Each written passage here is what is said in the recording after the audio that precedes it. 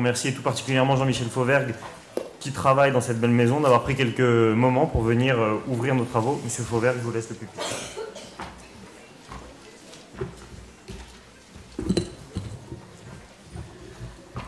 Bien, ben, euh, bonjour à tous. Bienvenue dans cette, euh, dans cette belle maison que je connais à peine, puisque je viens d'arriver. Bon, un peu plus de temps que vous, mais, mais à peine. Voilà.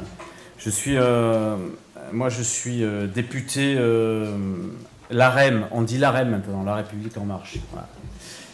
Je suis député l'AREM qui vient du, qui, vient de la, du monde extérieur, puisque pour ceux qui ne le savent pas, jusqu'à jusqu'à peu, j'étais policier j'étais le chef du j'étais le chef du raid.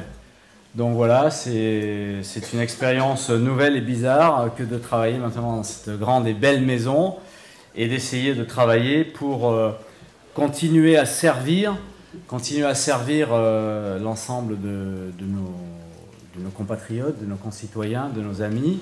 C'est vraiment quelque chose qui euh, me, qui me meut, qui me meut, qui me fait meut.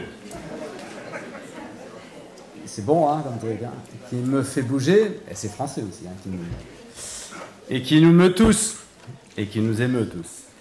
Euh, donc je pense que c'est important euh, pour vous, euh, par-delà les, par-delà les opinions politiques, hein, bien évidemment, c'est important pour vous que vous ayez des, députés qui vous ressemblent un peu et qui viennent, de, et qui viennent du vrai monde. Quoi.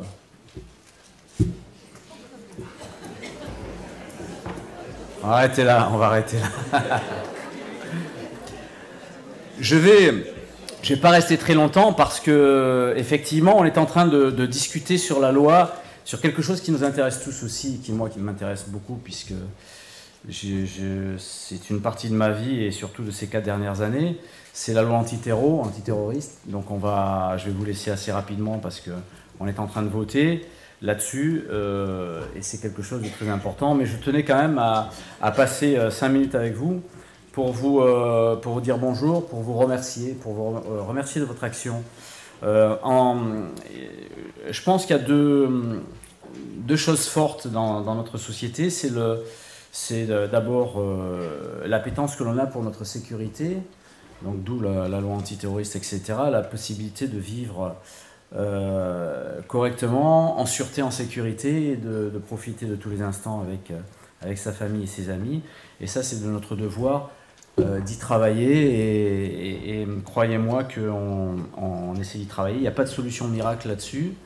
On ne garantit pas, comme dans beaucoup d'autres domaines, on ne garantit pas que, que plus rien ne se passera, mais on va essayer de faire en sorte de nous donner les moyens pour qu'il y ait de moins en moins de choses et pour qu'on puisse euh, vivre en toute euh, sérénité et régler euh, ces problèmes de sécurité. La deuxième chose importante, bien évidemment, c'est ce pourquoi vous êtes là toutes et tous aujourd'hui, c'est la lutte contre le chômage. Ça, c'est une, plaie, c'est quelque chose d'important à régler aussi. On on peut pas avoir une vie, une vie pleine et épanouie euh, sans euh, avoir les, moyens financiers d'avoir cette vie-là, mais surtout euh, sans avoir des, un travail, parce que c'est par le, le travail que l'on s'épanouit dans notre société. Une société plus sécure, avec du travail, c'est quelque chose d'important qui permettra à tous et à tous d'atteindre le bonheur, en, tout cas une partie du bonheur, parce que c'est ce qu'on recherche tous euh, au-delà de ça.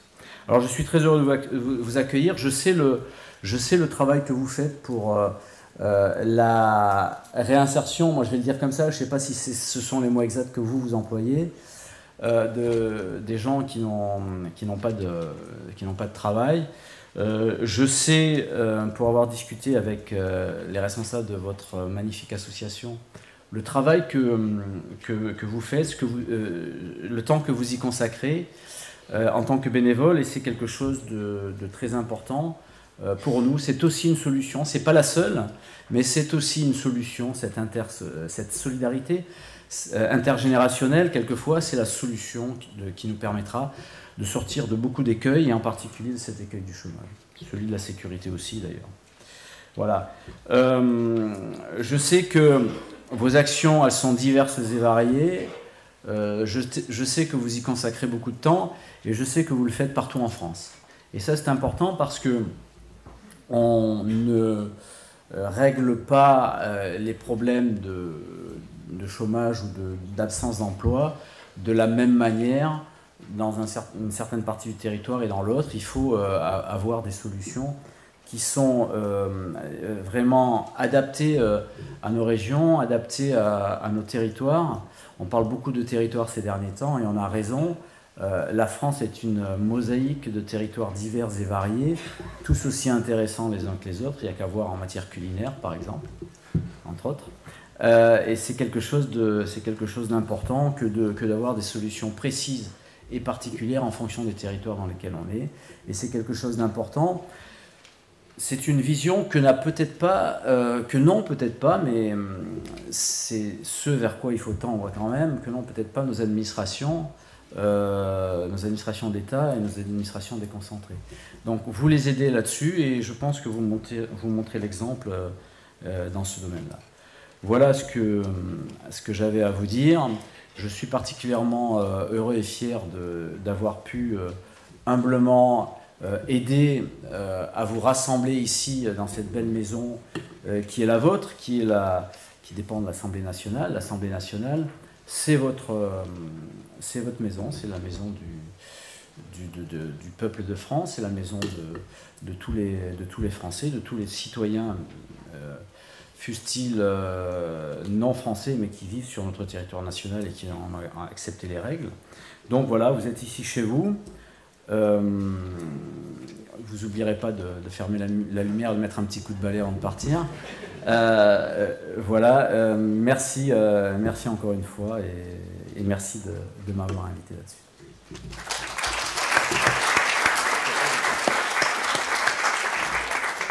Merci Monsieur le député. Faites attention à vos collègues donc, du faux monde. Euh, en ce qui concerne le coup de balai, on va laisser la personne dont c'est le travail euh, faire ça une fois qu'on sera parti. Et je vais désormais demander au président de Solidarité Nouvelle face au chômage, Gilles Delabarre, de venir ouvrir nos échanges.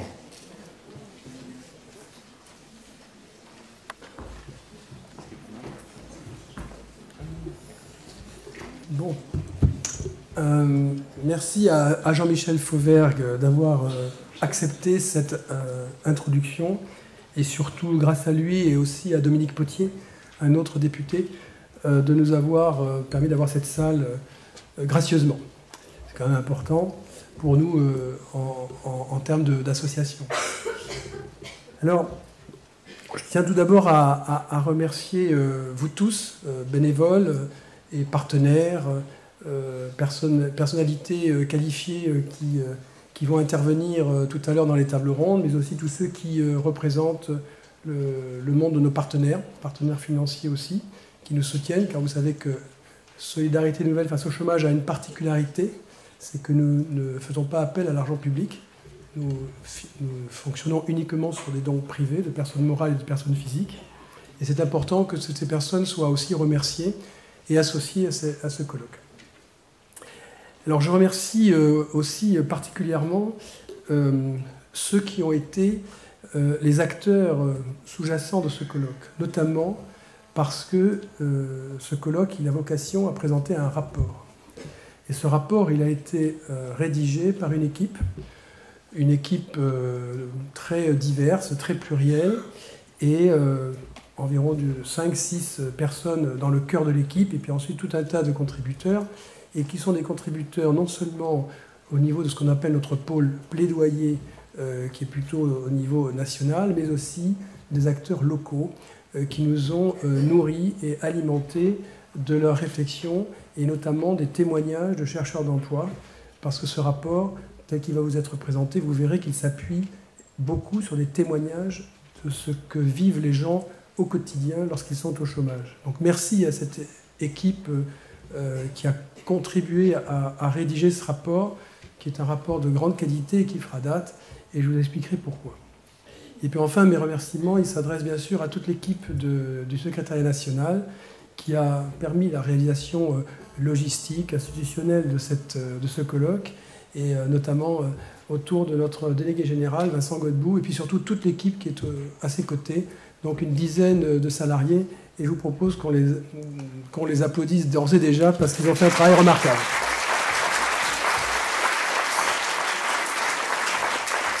voilà pour les euh, remerciements un petit peu institutionnels, mais j'aurais voulu faire euh, introduire ce colloque euh, en deux grands points. Tout d'abord, vous dire que ce colloque s'inscrit dans une, dans une stratégie, une stratégie de rayonnement et une stratégie de présence, de solidarité nouvelle face au chômage dans le débat public. Alors cette stratégie, elle a été décidée depuis de très nombreuses années, puisque nous existons depuis 32 ans, mais on lui a donné une espèce d'élan un petit peu supérieur depuis quelques années. Et euh, on ne part pas de rien, parce que SNC, c'est, en tous les cas, dans, son, euh, dans sa réflexion, dans sa présence dans le débat public, c'est des choses qui existent déjà depuis euh, plus de 30 ans. Et on a capitalisé sur la base de, notre expérience de terrain auprès des chercheurs d'emploi un certain nombre de, réflexions et qui ont nourri le débat public. Alors certaines de ces réflexions, elles ont elles ont porté leurs fruits. D'autres ont eu beaucoup plus de mal à porter leurs fruits, mais ça c'est la vie. Et ce que je voulais vous dire par là, c'est que ce colloque, il s'inscrit dans ce temps, dans cette continuité, mais il donne un nouvel, un nouvel élan. Et euh, c'est ce que j'appelle un acte fondateur. Ce colloque, c'est un acte fondateur, et c'est un acte fondateur pour les raisons suivantes. Premièrement, c'est un acte fondateur parce qu'il ouvre un cycle. C'est un cycle que l'on va euh, faire chaque année, au mois de septembre, à la rentrée, avec la publication d'un rapport, donc c'est une grosse euh, énergie et un gros engagement que nous prenons, mais qui a vocation à alimenter à la rentrée du mois de septembre les pouvoirs publics, les institutionnels, les acteurs euh, de l'emploi, bien évidemment, mais aussi, bien sûr, euh, les médias. Et pour cela, nous souhaitons interpeller début du mois de septembre, chaque année, avec un cycle, un espèce de rendez-vous. Et donc c'est pour ça que ce colloque c'est un acte fondateur. Alors pourquoi, pourquoi cela? Parce qu'en fait, on n'écoute pas suffisamment les chômeurs en France. On ne, prend pas le temps d'organiser euh, leur participation au débat public. Et ça, c'est un gros défaut de notre démocratie. En un mot, on ne les considère pas. Et euh, avec une attention et une bienveillance qui leur est due. Et ce que nous voulons dire aujourd'hui ici dans ce colloque, si on, décide d'en faire un acte fondateur, c'est qu'enfin on puisse marquer les esprits, et euh, notamment euh, auprès des médias, des politiques et des institutions, qu'il faut écouter et qu'il faut reconnaître la parole des chercheurs d'emploi. Alors c'est un acte fondateur aussi pour une deuxième raison, parce que nous allons, et vous allez, il va vous être euh, présenté tout à l'heure, nous allons présenter un baromètre. C'est le baromètre SNC du chômage et de ses impacts, et qui vise là encore à modifier les représentations habituelles, parfois un petit peu surannées, parfois malveillantes d'ailleurs, que l'on a sur le chômage et les chômeurs. Et pour ça, avec ce baromètre qui est issu d'une enquête et d'un sondage, on vous parlera tout à l'heure de la société Comisis et Opinionway, eh bien, euh, on verra que les représentations peuvent fortement euh, changer lorsque l'on a des questions et des questionnements différents auprès des personnes sur le chômage. Donc cet acte fondateur, c'est le deuxième pilier, ce baromètre, mais il y en a un troisième euh, pilier de cet acte fondateur, c'est nous souhaitons, alors on l'a déjà lancé au sein de SNC, mais je profite de ce colloque pour insister, c'est nous, nous souhaitons vraiment faire en sorte que les chômeurs, les chercheurs d'emploi puissent s'exprimer. Et pour ça, il faut lancer une nouvelle dynamique d'expression des, chercheurs d'emploi. Et nous avons, en partenariat d'ailleurs avec euh, le service public de l'emploi, et en, particulier Pôle emploi, et donc son, euh, son directeur général, euh, Jean Basser, qui n'a pu venir aujourd'hui malheureusement, nous avons lancé un projet qui s'appelle Expression. Et j'invite tout le monde aujourd'hui ici, euh, pour ceux euh, qui, connaissent autour d'eux des chercheurs d'emploi, à venir s'exprimer sur cette plateforme parce que la richesse de ce qui remonte permet de faire évoluer le service public de l'emploi dans une logique non pas de combat ou d'arrière-garde, mais beaucoup plus de co-construction pour faire évoluer les esprits, pour changer la représentation qu'a la société sur le chômage et les chômeurs, et pour enfin euh, faire en sorte de, penser que les chômeurs sont aussi, euh, à l'instant T, euh, des ressources utiles pour la société, et faire en sorte qu'ils reprennent espoir dans la, dans la vie et dans leur futur. Donc voilà ce premier point, ce colloque, c'est un acte fondateur. Mais il y a aussi autre chose, c'est que ce colloque, il doit être aussi l'occasion pour notre euh, association, alors je vais être un petit peu lyrique, mais le lieu me le, permet, c'est de réveiller les consciences. Et en fait, pour réveiller les consciences, il faut euh, s'inscrire, et vous me pardonnerez l'oxymore, s'inscrire dans tous dans une radicalité douce. En particulier, radicalité douce. Pourquoi ça? Pour trois ou quatre raisons. La première raison, c'est que notre pays, depuis 30 ans, il est anesthésié, il est résigné face à un chômage endémique et structurel. Et en fait, on s'habitue aux chiffres du chômage, d'ailleurs maintenant on ne les commente même plus, mais on s'habitue aux 3 millions et quelques de chômeurs de catégorie A, on s'habitue aux 50% euh, de personnes euh, au chômage qui, ont, euh, qui sont des jeunes de moins de 25 ans et qui ont de faibles qualifications. On s'habitue à ce que le taux de chômage des personnes handicapées soit le double que la moyenne nationale, etc. etc. Tous ces chiffres, vous les connaissez tous, sauf que notre association a la vocation à réveiller les consciences. Parce que le chômage, c'est un phénomène qui déstructure de fond en comble la société, non seulement dans ses grands équilibres économiques d'ailleurs, parce que quand on est chômage, on cotise moins sur tout le système de, redistribution, mais ça détruit en premier lieu les personnes et les familles et la vie courante. Et ça, euh, on le paye. Et on le paye très cher. Bien sûr, les personnes le payent très cher. Et je vous invite à lire euh, l'enquête de, de l'INSEM, de, ce professeur de médecine, qui a montré que il y avait à peu près 14 000 suicides en France, dont une grande partie est, liée au, chômage. On en parle peu de ça. Il faut bien s'en rendre compte. Et on n'est pas ici pour faire du misérabilisme. On est simplement ici, là, dans ce colloque, pour éveiller les consciences. Mais notre pays s'habitue aussi à ce que le débat sur l'emploi et la lutte contre le chômage soit capté par des techniciens, par un petit nombre, par des petites instances et en y euh, écartant la société civile, en pensant que la société civile, donc nous, vous, on n'est pas capable de penser, on n'est pas capable de réfléchir, on n'est pas capable de proposer et on n'est pas capable d'évaluer. Eh bien, c'est une faute. C'est une faute démocratique de penser ça. Et je crois que on ne peut pas s'habituer à cela. Il faut associer les acteurs de la société civile, les représentants des chômeurs, mais aussi les représentants euh, de ceux qui sont les plus en difficulté aux instances qui ont à parler de leur sort. Nous avons fait des propositions euh, très précises là-dessus. Nous les, euh, clamerons encore haut et fort. Alors il y a du progrès, il y a des choses qui avancent, notamment au travers des comités départementaux de liaison avec Pôle Emploi, puisque nous y sommes très présents et c'est une très belle instance qui, permet de faire progresser le service public de l'emploi mais euh, cela reste encore insuffisant. Et puis notre pays, pour terminer, il s'habitue toujours, dans cette logique de, résignation générale, il s'habitue à ce que euh, ce soit les logiques quantitatives et de court terme qui est toujours le dernier mot. Et nous, à Solidarité Nouvelle face au chômage, nous disons toujours, ne traitons pas des problèmes structurels par des mesures conjoncturelles. Euh, nous l'avons dit, nous l'avons écrit depuis de nombreuses années, et euh, on voit que petit à petit, certaines de nos idées ont infusé ou petit à petit imprégné le débat public, et on peut s'en réjouir. Simplement, on s'aperçoit que c'est très difficile. Et je me fais référence euh, à ce que nous avons fait avant la campagne électorale de, de mai 2017, puisque nous avons proposé qu'il y ait un Grenelle de l'emploi et du travail, donc un grand débat public qui associe l'ensemble des parties prenantes, donc y compris les associations, mais aussi les partenaires sociaux, bien évidemment, mais aussi les représentants euh, euh, des, professions qui ne sont pas représentées par des, syndicats, et bien sûr euh, les, autorités administratives.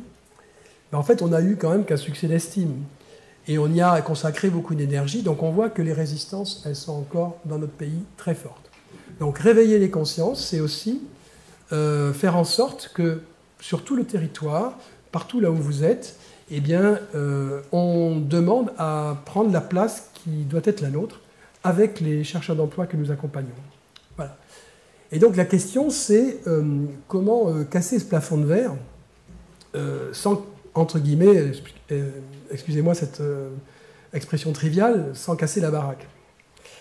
Ben, en fait, et je vais faire un petit clin d'œil, on pourrait être encore euh, plus euh, ricoeurien, au sens de Paul Ricoeur, que notre président de la République. En fait, il faut actionner euh, plusieurs leviers en même temps. Alors, c'est quoi ces leviers? Le premier de ces leviers, c'est ne jamais relâcher la pression, et partout où on peut le faire sur les territoires, pour défendre nos positions. Je crois qu'une association comme la nôtre, au-delà du côté euh, de base qui est l'accompagnement des chercheurs d'emploi, on doit en permanence se nourrir du livret de nos positions, donc sur l'assurance chômage, la formation professionnelle, l'accompagnement, les contrats aidés, le contrôle des chômeurs, on a écrit beaucoup beaucoup de choses. Eh bien, il faut que vous soyez les ambassadeurs et les ambassadrices de ce livret des positions partout sur les territoires pour que le politique, le niveau local, petit à petit, s'en imprègne. Et euh, c'est un petit peu comme la méthode Coué. Euh, il faut tout le temps, tout le temps revenir dessus parce que les gens ont vite fait d'oublier et euh, parfois ça les arrange bien d'ailleurs d'oublier. Et du coup, sur le volet de cette action, utiliser les ateliers territoriaux qui sont en cours de mise en œuvre au sein des territoires et qui fait partie de notre, de notre stratégie. En deuxième lieu, ce deuxième levier pour le faire en même temps, c'est d'inviter tous ceux qui sont ou ont été touchés par le chômage à s'exprimer et à témoigner.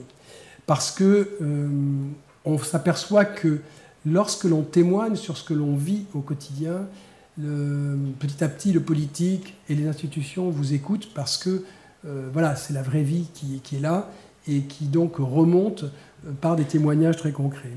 Et rappelons-nous hein, l'impact qu'a eu le livre Objet chômage, rappelez-vous, hein, où on avait demandé à des chercheurs d'emploi de représenter par un objet ce qu'était leur vie euh, au quotidien au chômage. Et euh, les témoignages, rien que par ces objets, étaient extrêmement puissants.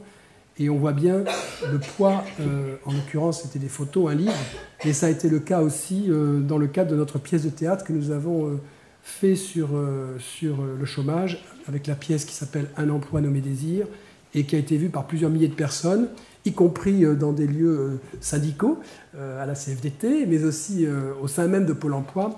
Et je peux vous dire que ça marque les, esprits et ça change petit à petit l'idée que les gens se font du chômage. Et puis le, troisième levier, c'est la mobilisation de notre réseau pour que nous ayons encore plus de, bénévoles. Nous avons à peu près aujourd'hui un petit peu moins de 200 groupes euh, en France. On était à peu près une centaine de groupes il y a, a 6-7 ans, donc vous voyez que le développement est important, une croissance de notre, de notre réseau de manière importante. Mais ça veut dire aussi ne jamais oublier qu'à SNC, nous avons euh, une double pratique, c'est euh, le partage du temps en tant que bénévole, mais aussi un partage via la solidarité financière.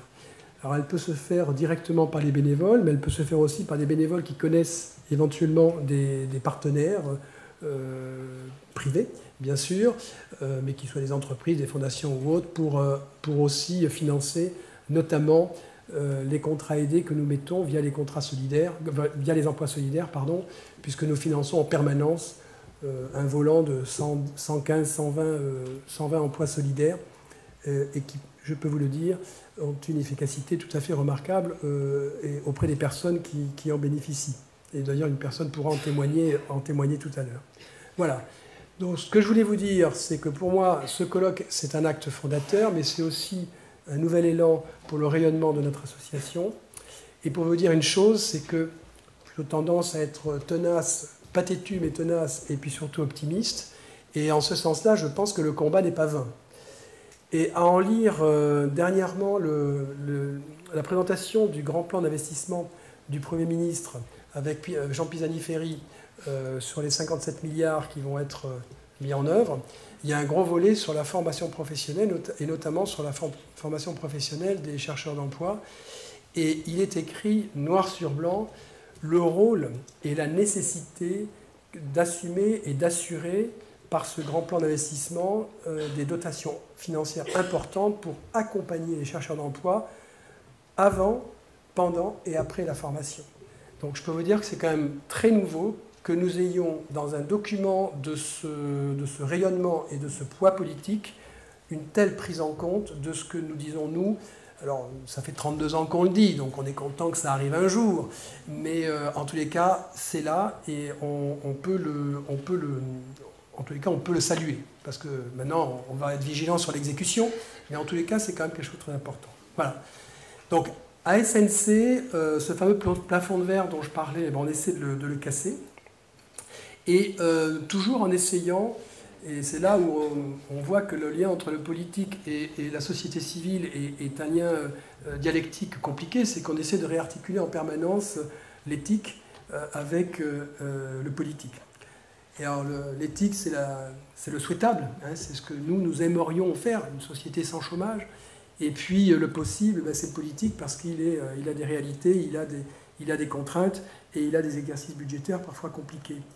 Par contre, nous, nous faisons en permanence le lien entre les deux et nous réarticulons toujours, pour reprendre l'expression de Paul Ricoeur, ce lien euh, dialectique entre éthique et, politique. Et à notre sens, c'est la seule manière c'est la seule manière, si l'on veut réencastrer une fraternité vivante et euh, en continu dans notre société qui en a bien besoin. Voilà, je vous souhaite un excellent colloque et je passe tout de suite la parole à notre animateur bien-aimé.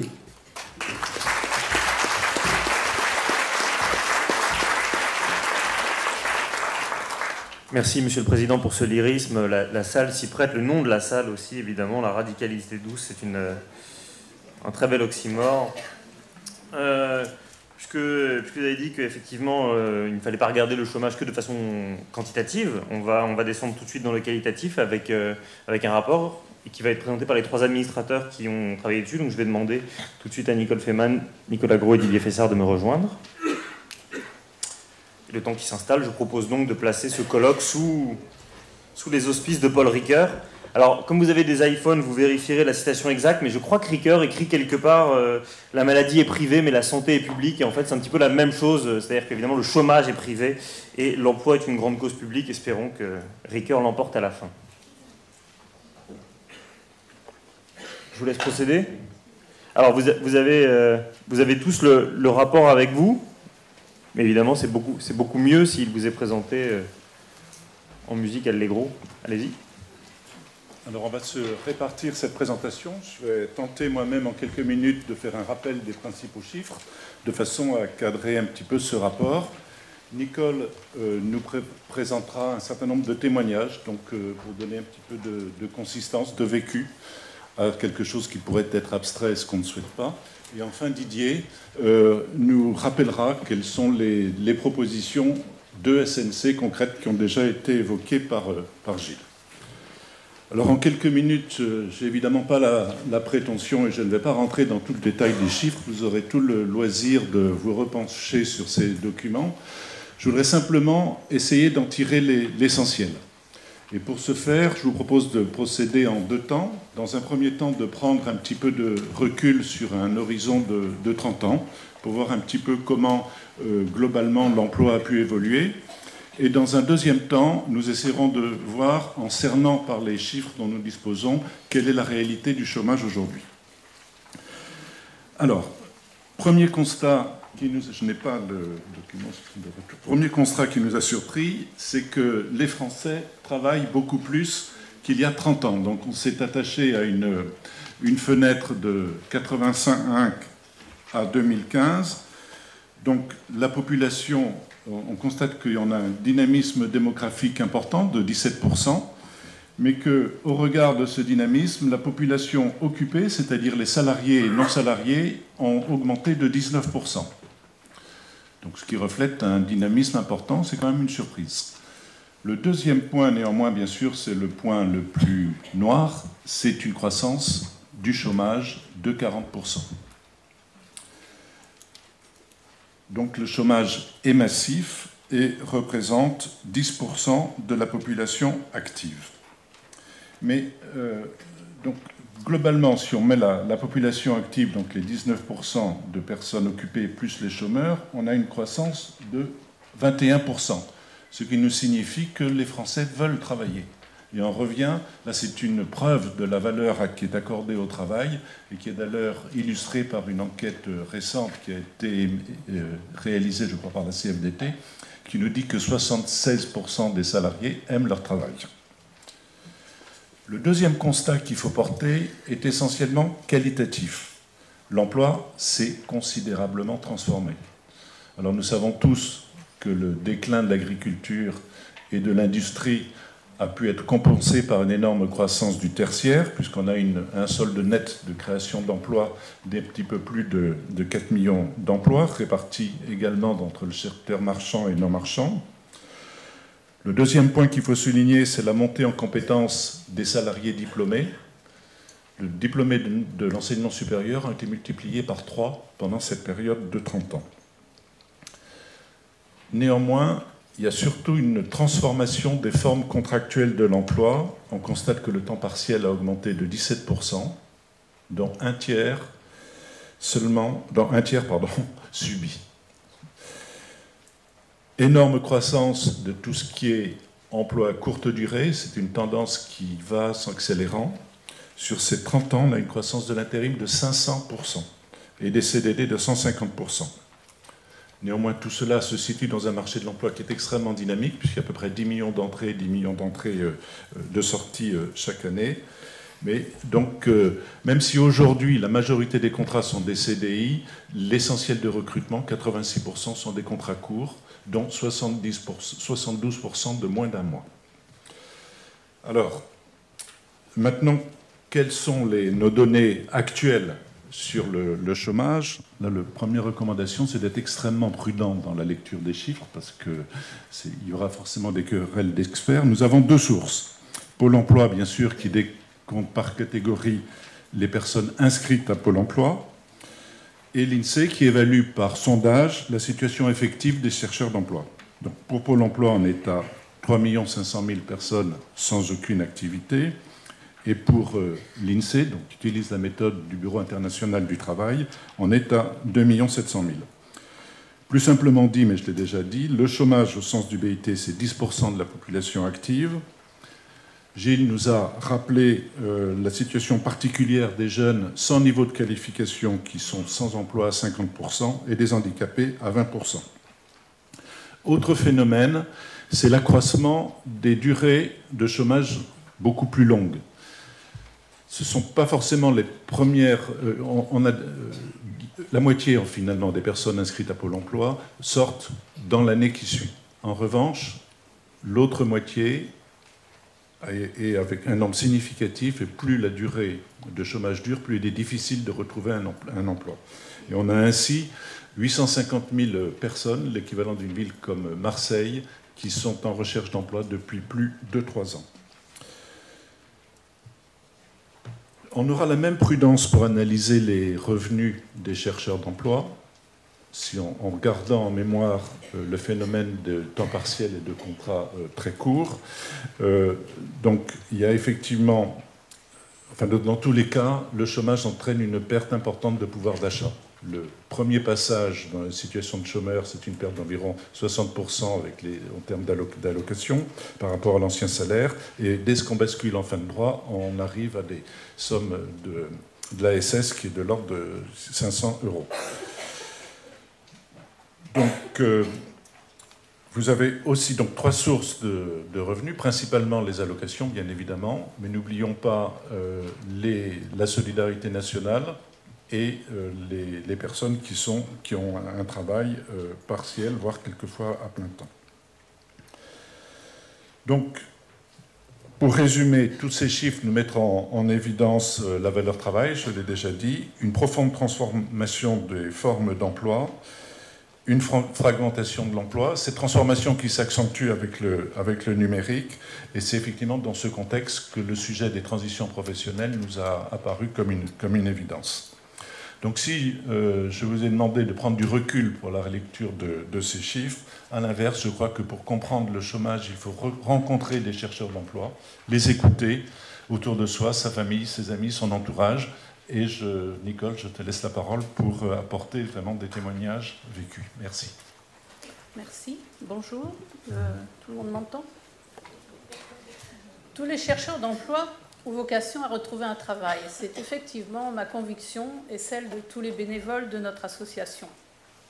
Je reçois régulièrement, tous les mois, toutes les personnes, tous les chercheurs d'emploi qui souhaitent être accompagnés. Je les écoute, je les respecte, je sens leur euh, détresse, leur isolement, leur perte de confiance et leur découragement. Mais je sens aussi leur potentiel, je perçois leurs compétences et je ne doute jamais de leur capacité à retrouver un emploi. Il y a une question que je leur pose systématiquement à la fin de notre échange rapide. Si vous aviez un souhait aujourd'hui, et là je vois le visage qui s'illumine, qui s'éclaire, ils sont déjà à se projeter dans un avenir. Parfois le simple fait d'être venu à une rencontre, une demi-heure, redonne du tonus à la personne une opportunité se présente, un hasard, et tout repart. Pour d'autres, le chemin sera beaucoup plus long. Mais il y a toujours une issue positive. Nous avons accompagné pendant plus de deux ans une jeune femme talentueuse qui était une traductrice technique. Deux ans, c'est long. Et puis soudainement, elle a répondu à un appel d'offres en Allemagne. Elle a signé un CDI, elle y est toujours. Une relation de confiance permet l'expression des projets les plus fous. Quand je revois les personnes après le premier entretien, quelques semaines plus tard, elles ont changé. Elles retrouvent confiance en elles, estime de soi. Elles sont en chemin avec un binôme d'accompagnateurs. L'accompagnement des chercheurs d'emploi est essentiel et doit se développer dans une relation de bienveillance, d'écoute et de respect de la dignité des personnes. Je vous invite à changer de regard sur la situation des personnes, du vécu pardon, des personnes au chômage. Arrêtons de les stigmatiser. Arrêtons de les considérer comme des fainéants, des profiteurs du système. L'identité d'une personne est liée à son travail, D'ailleurs, quand vous rencontrez quelqu'un que vous ne connaissez pas, vous lui dites bonjour, et puis quelques peu de temps après, vous lui dites qu'est-ce que vous faites quand vous êtes au chômage? Est-ce facile de répondre à cette question? C'est pour elles une lutte de tous les jours. Elles doivent résister à cette épreuve difficile qui les exclut de la société. Comment garder la tête haute quand pendant plus de six mois, vous avez envoyé CV sur l'aide de motivation, et que vous n'avez eu aucune réponse, pas même un accusé de réception, ne parlons même pas d'une réponse écrite. Comment croire encore en ses compétences quand, lorsque d'un entretien, le recruteur vous répond Vous avez tout à fait le profil, mais vous êtes trop vieux Sous-entendu, vos prétentions financières sont bien trop élevées. Comment continuer à vivre sereinement quand le discours des recruteurs catégorise les gens en disant un jeune manque d'expérience et une femme de 45 ans, ben c'est une senior. Ainsi, je me souviens de Sandra, une femme de 45 ans. Elle vend seule son fils euh, qui venait d'arriver à Toulon. Elle ne connaissait personne. Elle tournait en rond devant son ordinateur à l'affût d'une offre d'emploi qui pouvait concilier des horaires de travail et les horaires euh, scolaires. Elle était découragée, désespérée, elle ne, par ses recherches infructueuses, les non-réponses à ses demandes d'emploi. Ses moyens modestes ne lui permettaient même pas une sortie. Pourtant, six mois avant, elle était commerciale, Elle vendait des cigares, des bureaux de tabac. Elle réussissait. Elle était épanouie, dynamique. Et là, devant moi, j'avais une femme qui se cachait derrière ses cheveux, qui n'osait à peine dire ce qu'elle avait fait, qui ne voyait pas d'avenir pour elle, qui ne se trouvait même plus capable de vendre, voire même d'avoir la force de continuer à chercher. Après quelques mois d'accompagnement, Sandra a retrouvé un travail qui, qui lui permet de concilier sa vie professionnelle et personnelle. Elle est souriante, apaisée, parce qu'elle a pu parler de ses doutes et de ses faiblesses à un binôme d'accompagnateurs. Nous avons choisi le thème de la reconversion professionnelle. Oui, on peut se reconvertir à tous les âges, mais c'est difficile. C'est un très gros investissement qui demande beaucoup de courage et de persévérance. Ainsi, j'ai l'exemple de Marie-Josée, qui, euh, mère de famille, voulait devenir cuisinière. Quel parcours du combattant Elle était seule pour monter son dossier auprès du conseiller Pôle emploi, seule pour trouver du financement, seule pour trouver une entreprise pour l'alternance et un centre de formation. Elle était ballottée d'un organisme à un autre, d'un service à un autre. Réapprendre, après de nombreuses années de travail, n'est pas chose facile, encore moins quand vous avez des enfants dont vous devez vous occuper. Deux ans de formation et finalement, elle obtient son diplôme. Mais il fallait ensuite chercher un recruteur, un employeur, qui accepte une débutante, mais qui n'est plus très jeune. Le secteur de l'hôtellerie et de la restauration est en perpétuelle tension. Mais il vaut mieux être jeune et disponible pour pouvoir y rester. C'est le soutien régulier de son binôme d'accompagnateurs de SNC qui lui ont permis de ne pas se décourager, de ne pas interrompre sa formation et d'arriver au bout de sa reconversion professionnelle. Changer de regard sur le chômage, c'est entendre ce que disent les chercheurs d'emploi. C'est ce que fait SNC, et nous voulons par ce rapport et ce colloque que cette parole soit entendue dans le débat public. Et je cède la parole à Didier pour présenter nos propositions. Bonjour.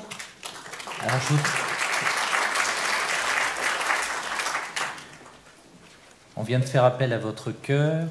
Je vais essayer aussi de continuer à vous faire changer de regard sur le chômage en faisant appel à votre courage contre la résignation. Je commence par une image. Euh, elle a été faite par une jeune femme qui s'appelle Alban de Vouges, qui a sorti un livre qui s'appelle Les quatre saisons d'Agathe, où elle raconte sa vie de chercheuse d'emploi avec des images qui sont marquantes. Donc je ne vous présenterai pas toutes les propositions, il y en a 7 dans le rapport, il y a 36 pages, mais ce que je veux, c'est vous donner envie de rentrer dans ces propositions et de pouvoir vous les approprier. Après plusieurs décennies de chômage, l'emploi pour nous doit devenir une réelle priorité. Les politiques publiques doivent intégrer dans leurs objectifs essentiels la création d'emplois et la lutte contre le chômage. Nous pouvons, face à la résignation, oser la confiance confiance des entrepreneurs pour créer des emplois, confiance dans les chercheurs d'emploi en leur donnant respect, considération et en les embauchant. Nous avons aussi montré, Nicolas l'a illustré, que depuis plus de 30 ans, de plus en plus de personnes veulent travailler. Pour nous, chacun doit pouvoir mettre ses talents au service de l'économie avec un travail de qualité et à temps choisi. Une manière de faire, c'est de réunir sur le terrain tous les acteurs les employeurs, les organismes d'orientation et de formation, les pouvoirs publics, les associations, le service public de l'emploi, et de mettre en place des initiatives d'accompagnement des personnes vers les emplois en manque. Et ça, ça fonctionne. Vous verrez dans le rapport, on a mis deux exemples d'illustration de travail sur le terrain de tous les acteurs pour remplir les emplois où il y a des besoins. Nous souhaitons que les pouvoirs publics favorisent ces initiatives, les fassent connaître et facilitent leur reproduction. Enfin, dernier point sur ce visuel, un sujet d'actualité, les emplois aidés. Des centaines de milliers de personnes se retrouvent en marge de l'emploi et les emplois aidés, selon nous, peuvent être des tremplins pour elles. SNC le montre avec les emplois solidaires. Un emploi aidé avec un accompagnement, une formation est beaucoup plus efficace. 60% des personnes en emploi solidaire SNC rebondissent vers un nouvel emploi. Deuxième sujet, l'accompagnement. SNC le, pratique et le montre depuis plus de 30 ans. Accompagner les personnes dans leur cheminement vers l'emploi, c'est un investissement. Avoir des personnes qui sont bien dans leur peau, en mettant leurs compétences au service d'une entreprise, est bien meilleur que de verser des allocations à des chômeurs. Le service public de l'emploi, selon nous, doit disposer d'une vraie offre d'accompagnement dans la durée. Cet accompagnement, il doit porter en priorité sur les chômeurs de longue durée, les personnes en situation de handicap, les jeunes sans qualification, les personnes ayant une faible maîtrise des outils numériques. À titre d'illustration, j'évoquerai la mise en place il y a 20 ans de services d'auxiliaires de vie scolaire pour accompagner les élèves handicapés dans leur entrée à l'école. Il y a 20 ans, personne n'y croyait. Aujourd'hui, personne ne remettrait en cause ces services. Pour nous, il y a moyen de mettre en place des services d'accompagnement des personnes ayant un handicap au sens très large pour rentrer dans l'emploi. Nicole l'a montré avec beaucoup d'émotion, l'accompagnement des, reconversions professionnelles est essentiel. Elles sont longues, elles demandent des efforts importants à ceux qui s'y engagent. Oui, nous sommes d'accord, il faut accroître la part des budgets de formation pour les chercheurs d'emploi, mais ce serait de la gabegie si on ne le faisait pas en prenant en compte leurs projets professionnels pour un parcours personnalisé et surtout en clarifiant, en simplifiant les dispositifs de formation et leur gouvernance, en rapprochant le monde de la formation et celui de l'entreprise, en permettant par exemple des formations d'intégration à l'emploi co-construites par les entrepreneurs et les organismes de formation. Et en dernier point, je voudrais dire qu'il faut innover sur l'assurance chômage. Pour cela, quelques illustrations. Gilles l'a évoqué dans notre livret de position édité au premier semestre. Nous proposions que l'assurance chômage puisse devenir universelle, que toute personne, qu'elle soit salariée du privé ou du public, micro-entrepreneurs, agriculteurs, indépendants, etc., puissent en bénéficier. Cette proposition est reprise par les pouvoirs publics, nous nous en réjouissons. Avec le digital, le développement des emplois de courte durée, il est essentiel que chacun puisse être indemnisé pendant ces périodes de transition professionnelle. Pour nous, la solidarité autour du chômage doit être l'affaire de tous. Nicolas nous a montré tout à l'heure par un schéma quelque peu compliqué la complexité des diverses allocations possibles il nous semble nécessaire de, de simplifier ces dispositifs en veillant à, à ce qu'il n'y ait pas d'effet d'aubaine, mais aussi, surtout, et Nicolas en a parlé, éviter les chutes brutales de revenus, comme celle qui se produit lorsqu'on passe de l'allocation de retour à l'emploi à l'allocation sociale de solidarité. De plus, nous ne pouvons que nous opposer à une dégressivité des allocations chômage, car elle pénaliserait encore plus ceux qui sont en difficulté, parce qu'en recherche depuis longtemps, et donc en difficulté sur beaucoup, beaucoup de points. Enfin, certains pourraient imaginer que la mise en place d'assurance chômage complémentaire serait une bonne solution. Pour nous, cela se traduirait par une nouvelle fracture, s'ajoutant à celle existante, entre ceux qui ont les moyens de payer cette assurance et les autres, très majoritaires. En conclusion, nous avons voulu vous montrer qu'il est possible de changer de regard sur le chômage. Sortir du chômage de masse, je vais répéter Gilles, c'est une exigence éthique et politique. Exigence éthique qui doit se fonder sur les principes qui sont ceux de SNC, bienveillance, respect de la personne, confiance. C'est une exigence politique, car de telles transformations nécessitent, comme nous l'avons proposé dans le manifeste pour un Grenelle de l'emploi et du travail, un réel dialogue entre toutes les parties prenantes.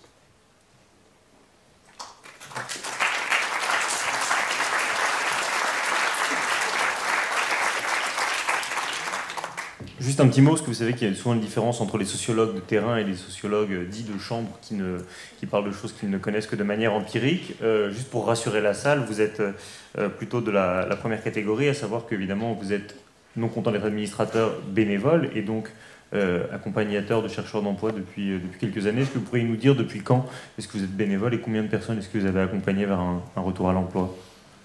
Il doit y avoir 9 ans, 9 ans en septembre, effectivement, que j'accompagne des chercheurs d'emploi. Il se trouve, comme je l'ai dit tout à l'heure, de par les CDD, on a des accompagnés qui sont en emploi, qui reviennent. Donc je dirais que sur cette période de 9 ans, j'ai dû en accompagner une vingtaine. Mais j'ajouterais à ça euh, tous les petits groupes que j'ai pu avoir dans l'animation d'ateliers, par exemple de préparation aux entretiens de recrutement, qui sont des groupes de petits effectifs forcément. Donc on doit arriver à entre 80 et 100 à peu près. Félicitations. Pardon? Félicitations, la, la salle a le droit de vous applaudir pour ce que vous faites. Nicole, est-ce que vous avez vos chiffres?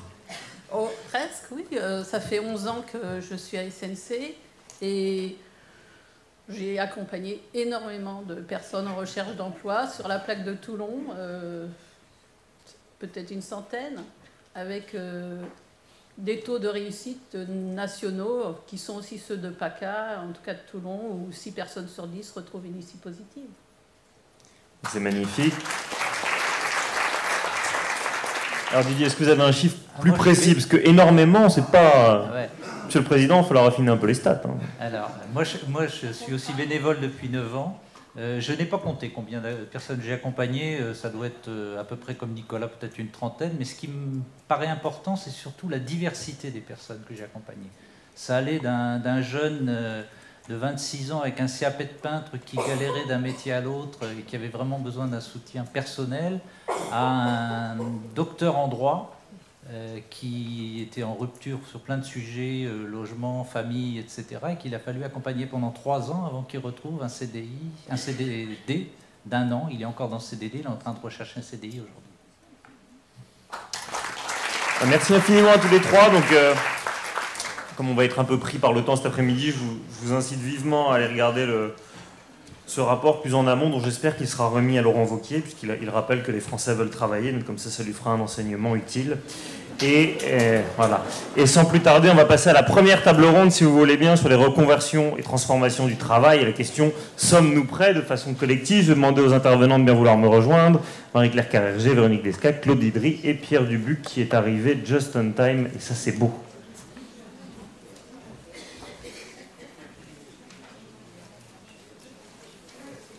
Et Monsieur Didry qui est là parce qu'il était au fond de la salle, donc j'étais un peu inquiet, mais tout va bien.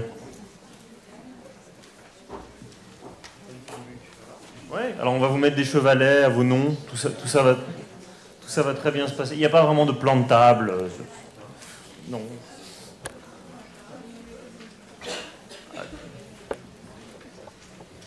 Commencez pas les arrangements entre vous.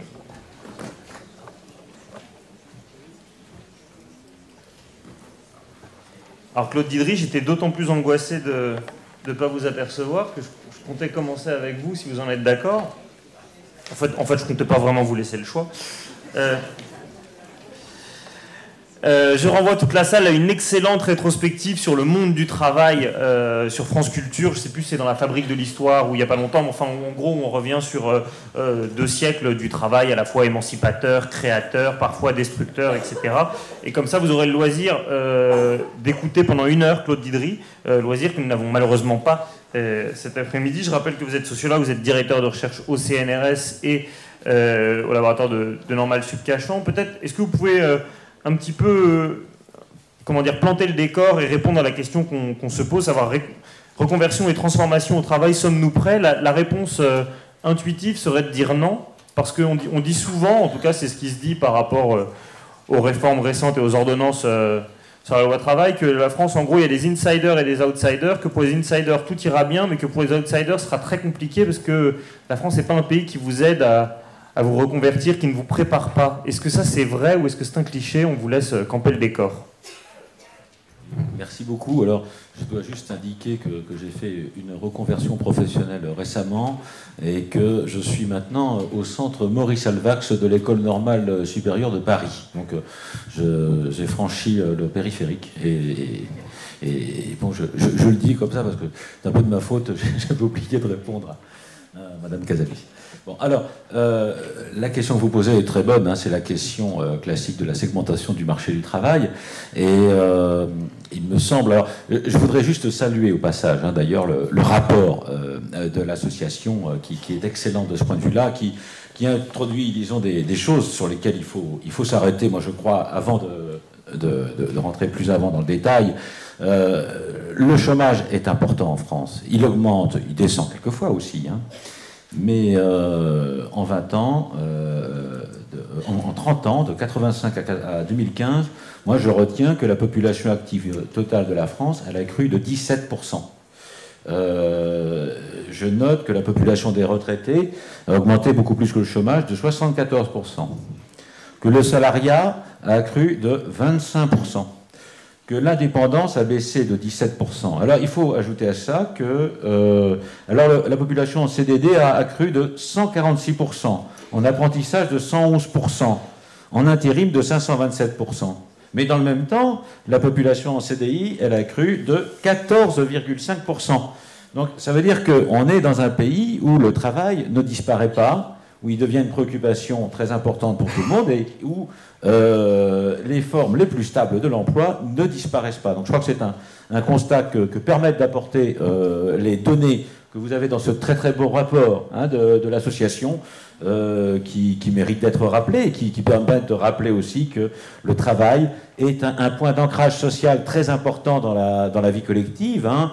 rejoignant en cela, disons, moi mon maître à penser, qui n'est pas Ricoeur, mais qui est Émile Durkheim, hein, le fondateur de la sociologie, qui a écrit un ouvrage qui s'intitule euh, De la division du travail social et qui, évoque cette idée que, le, la division du travail, eh bien, c'est euh, l'apport d'une solidarité nouvelle, euh, qui est une solidarité organique hein, entre des individus complémentaires, différents, spécialisés, qui se distinguent d'une solidarité mécanique, c'est-à-dire d'une solidarité identitaire reposant sur l'identification à un même modèle et, sur une répression des défiances. Donc je crois que euh, de ce point de vue-là, le travail en France est un, élément important, c'est un facteur de renouvellement de la solidarité, de, maintien d'une solidarité organique par différence avec euh, les individus qui, se développent, donc c'est une chose importante. Alors le deuxième élément que, vous évoquiez, c'est cette partition entre insider et outsider, c'est une partition qui est... Euh, jouée, si j'ose dire, par la Commission européenne depuis quelques années dans le cadre du semestre budgétaire pour justifier un affaiblissement du contrat à durée indéterminée, de manière à ramener tout le monde au même niveau de précarité. Je pense que cette analyse, elle est fausse. Il faut le dire simplement, elle est fausse, parce que euh, lorsque l'on regarde la population active en France, euh, ce que j'ai fait à partir d'une espèce de photographie de la population active, l'on s'aperçoit que euh, eh bien, les, comment dire, les différents statuts se répartissent dans cette population active en fonction de l'âge. Et, et, que les plus jeunes sont naturellement les plus exposés au chômage, au contrat à durée déterminée, à l'apprentissage, puisque c'est aussi un facteur euh, lié à la jeunesse, et puis un intérim. Et puis, arrivé vers l'âge de 28-30 ans, les gens accèdent massivement euh, à un CDI avec un plateau, disons, de 28 à 58 ans, 60 ans, ou euh, d'une population en CDI autour de 60 euh, à 75 hein, de, des classes d'âge concernées. Donc, on a une situation où le CDI ne concerne pas une part de privilégiés, mais il, fournit un horizon dans l'existence des, des, actifs. Et ça, ça me paraît important à souligner à souligner également en rapport avec euh, les dimensions de l'ancienneté dans l'entreprise qui vont en croissant hein, euh, lorsqu'on observe la population active, euh, c'est-à-dire bien de manière progressive, en passant d'une ancienneté moyenne de l'ordre de quelques mois au début d'activité de, pour les plus jeunes, à une ancienneté moyenne qui va en croissance continue à plus de 20 de, de 2 ans euh, pardon, de 20 ans euh, pour euh, les salariés âgés de 55 ans. Donc on a là des phénomènes importants qui méritent d'être soulignés, c'est-à-dire que cette segmentation du marché du travail, elle n'est pas véritablement efficiente en France, contrairement peut-être à d'autres pays comme les États-Unis par exemple, mais peut-être même l'Allemagne aussi. mais en France, on a des statuts différents qui sont des, points de repère euh, dans l'avancée en âge euh, et qui conduisent à des emplois qui sont relativement stables avec l'âge. Alors, c'est là où se pose la question du chômage et de son accompagnement, parce que perdre son emploi lorsqu'on a 25 euh, et, et qu'on sort d'un CDD pour se retrouver au chômage, c'est différent de la situation de quelqu'un qui, ayant un CDI, euh, euh, vers l'âge de 40-45 ans, perd son emploi et se retrouvent au chômage. Je crois que là, il y a, des éléments forts dans, la situation qui sont à prendre en compte dans euh, les démarches d'accompagnement. Alors, je, voudrais juste ajouter qu'en ayant regardé un peu les activités de, SNC, euh, moi, ce que je trouve très, très important par rapport à cela, c'est euh, l'idée d'un accompagnement. Parce que ce qui se passe lorsqu'on perd son emploi à la suite d'un licenciement vers l'âge de 45-50 ans, on perd un emploi, on perd quelquefois aussi ce qu'on pourrait appeler une vocation. Et puis, euh, on perd aussi euh, l'appartenance à une collectivité de travail. Parce que le travail, ce n'est pas qu'un emploi qu'on occupe tout seul en face d'un patron, c'est une activité que l'on pratique à plusieurs. Hein, et, que l'on pratique dans une collectivité qui peut apporter peut-être quelquefois une forme de saturation, mais qui apporte aussi quelquefois euh, eh bien, des éléments de, reconnaissance, de réconfort, d'amitié euh, qui sont importants, qui fait que la perte de l'emploi à ce moment-là, c'est une perte de quelque chose d'important, qui est cette fraternité qu'apporte le travail et qui, je pense, peut se retrouver dans la démarche d'accompagnement telle qu'elle est présentée dans l'association. Voilà. Donc voilà, je m'excuse, j'ai peut-être été un peu long, mais c'était pour moi l'occasion de, de, faire euh, l'éloge de ce rapport que j'ai trouvé extrêmement intéressant euh, dans, le cadre de cet exposé. Merci. Merci beaucoup. Bah oui.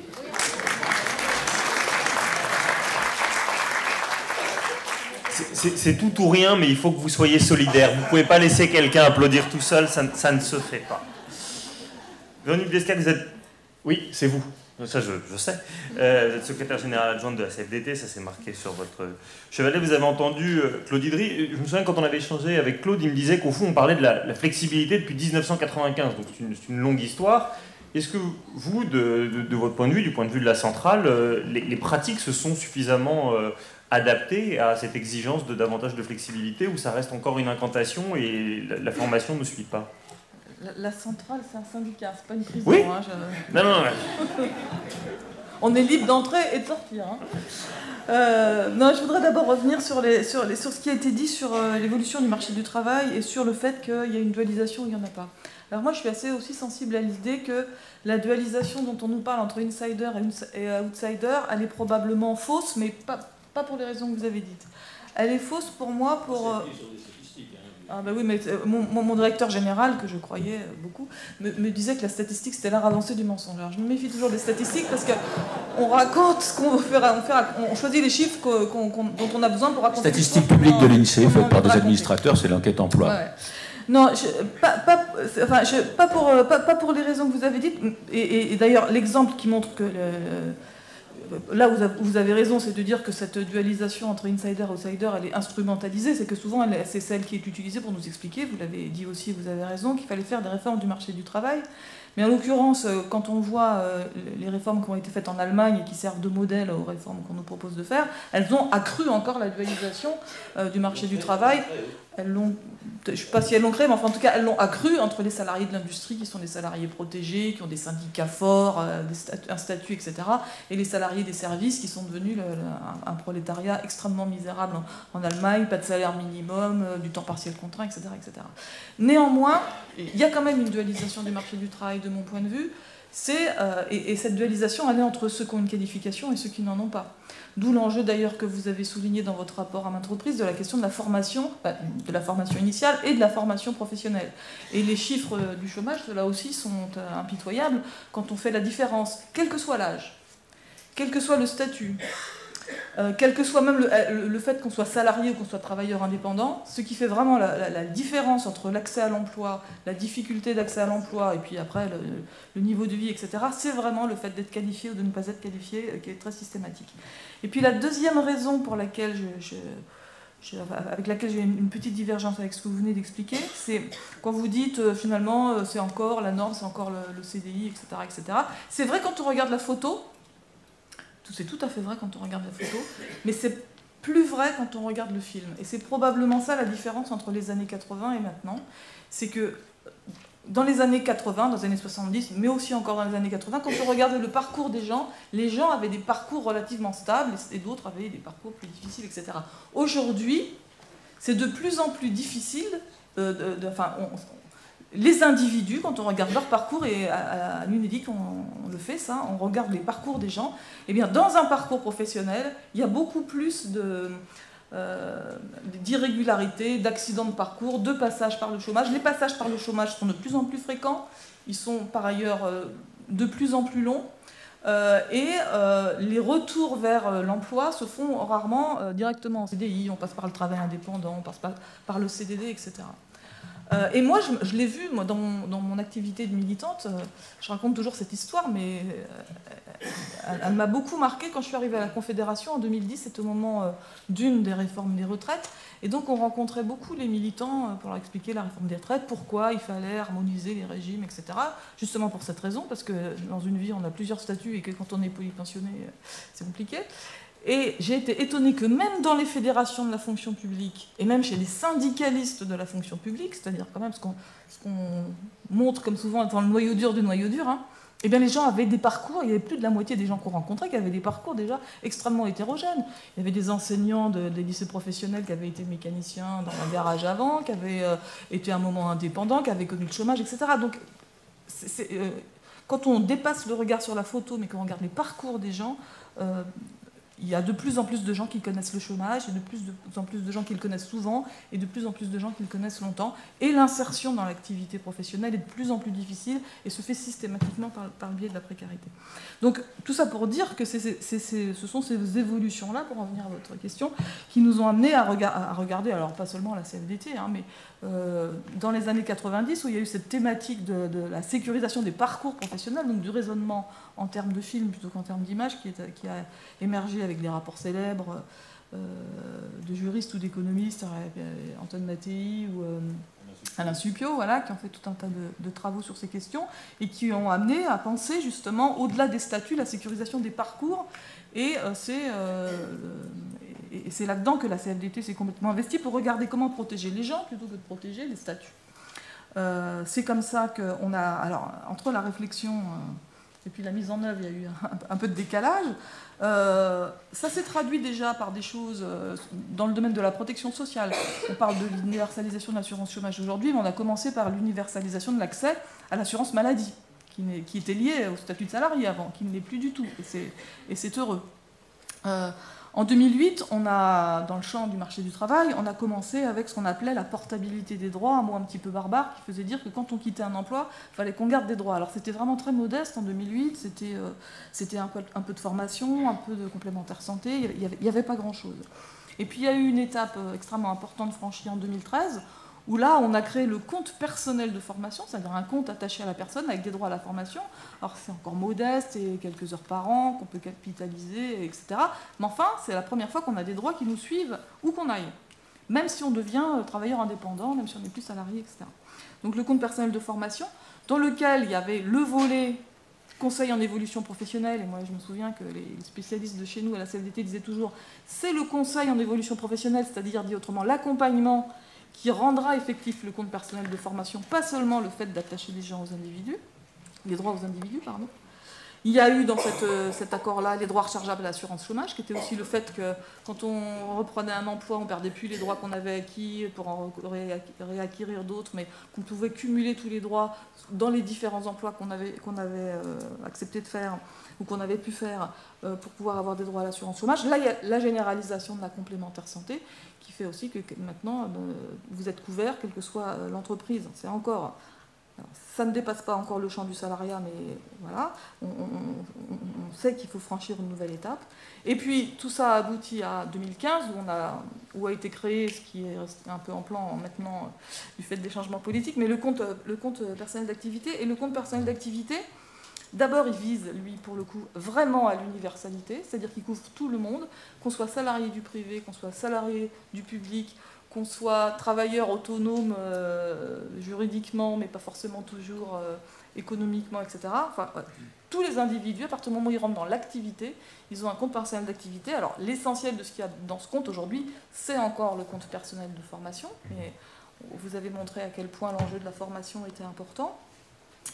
Euh, c'est la possibilité surtout ouverte du coup d'imaginer d'autres droits et quand on va rencontrer euh, qu'on rencontre les demandeurs d'emploi ou encore euh, les travailleurs des plateformes par exemple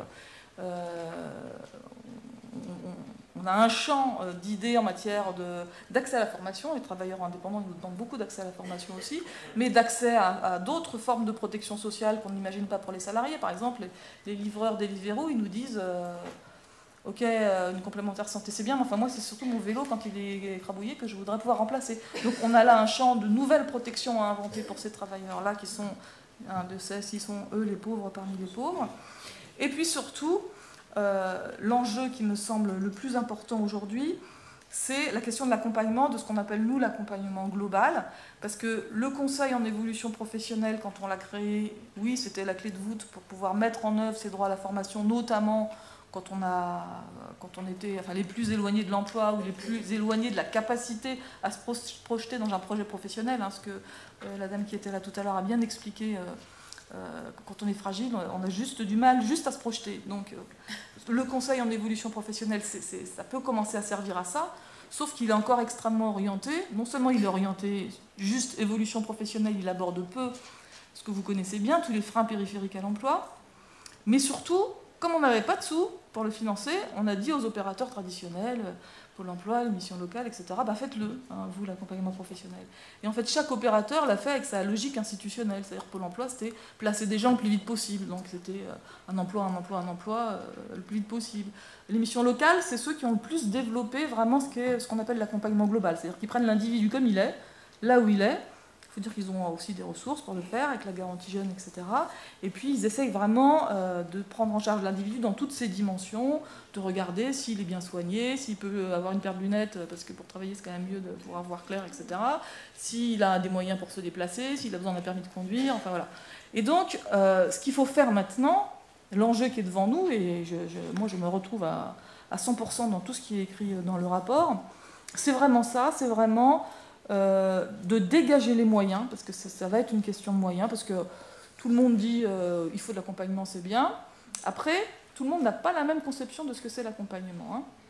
Et il y a une tendance qui, nous, à la CFDT, nous inquiète un peu dans les, dans les réformes à venir sur la formation professionnelle notamment, qui, consiste à dire, bah, après tout, à partir du moment où on donne le même bagage à tout le monde, on a rétabli l'égalité des chances et basta.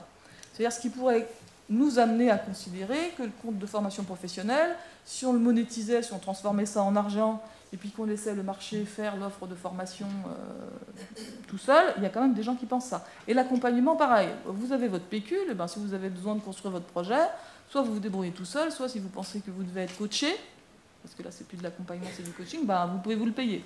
Or, chacun sait, enfin ici en tout cas, on sait bien que c'est pas ça et que autant nous on pense qu'il faut l'accompagnement, il vaut pour tout le monde, y compris, euh, il y a eu un exemple tout à l'heure avec un docteur en droit, hein. tout le monde a besoin d'accompagnement à un moment ou à un autre, parce que dans les reconversions professionnelles on est forcément un peu perdu, et puis, puis parce qu'on est le moins clairvoyant sur sa situation à soi en, plus.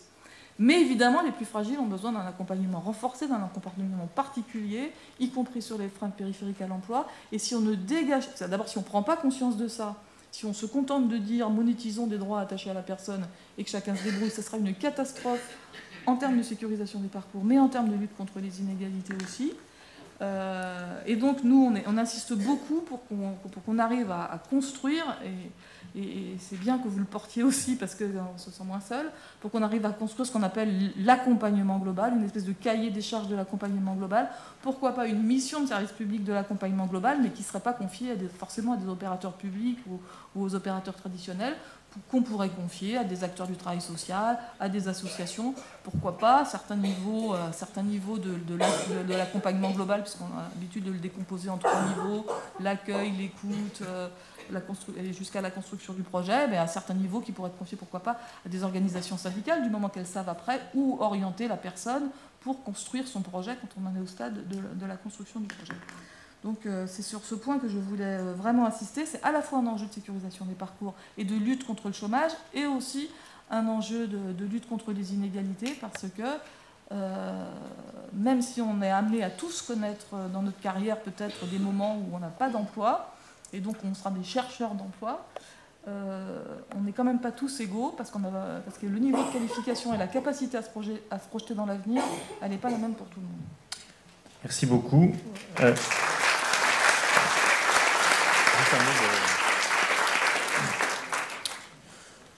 Juste un mot sur euh, la rapidité de l'accès à, la formation, parce que vous évoquiez les, travailleurs des plateformes, et on voit effectivement à quel point aujourd'hui, une des caractéristiques de ces nouveaux métiers, c'est que ça peut s'arrêter très vite. Uber a perdu sa licence à Londres la semaine dernière, Take It Easy, euh, pour pas faire de pub, c'était arrêté l'an dernier aussi du jour au lendemain. C'est-à-dire que du jour au lendemain, il y a des milliers de travailleurs qui se retrouvent euh, sans emploi. Quand on dit davantage de flexibilité, ça veut dire que de l'autre côté, on va vous aider euh, davantage rapidement à retrouver une formation. Et souvent, dans les critiques, que ce soit dans le rapport ou tout à l'heure, quand on aura des témoignages, c'est l'extrême lenteur de, l'accès à la formation. Est-ce que, est que là-dessus, vous trouvez qu'il y, a des pistes d'amélioration ou des choses qui font que ça pourrait se débloquer plus vite?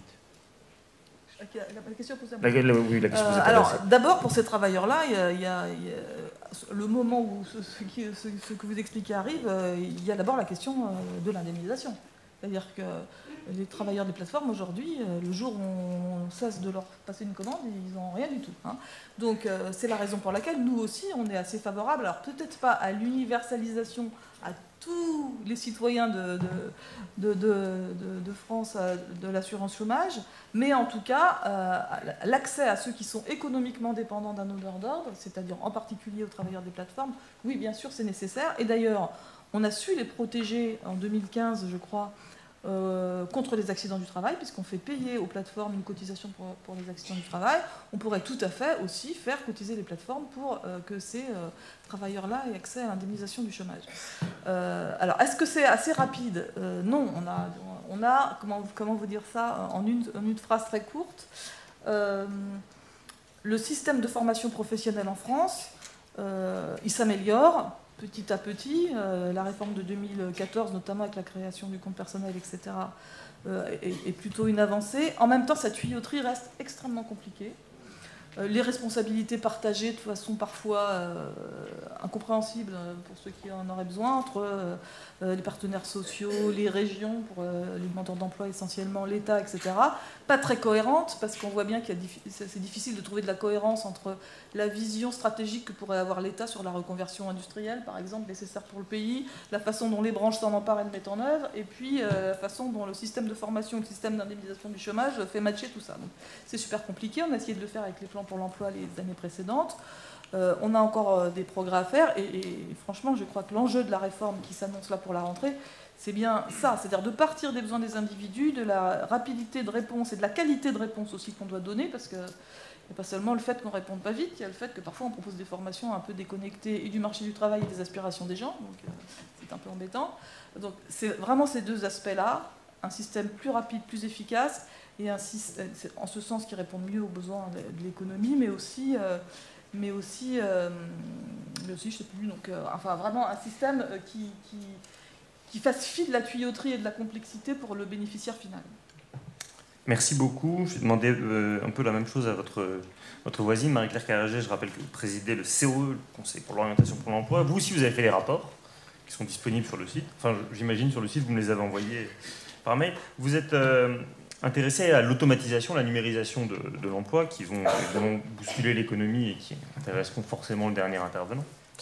Euh, au fond, ce qu'on voit quand on lit vos rapports, c'est qu'on va avoir un besoin de transformation des compétences de l'ensemble des, travailleurs français qui a l'air euh, assez massif. Et donc à la question, est-ce que nous sommes prêts face à cette reconversion et, face aux compétences euh, nouvelles qu'il faut acquérir Vous, êtes mi-figue, mi-raisin, si, je reste poli?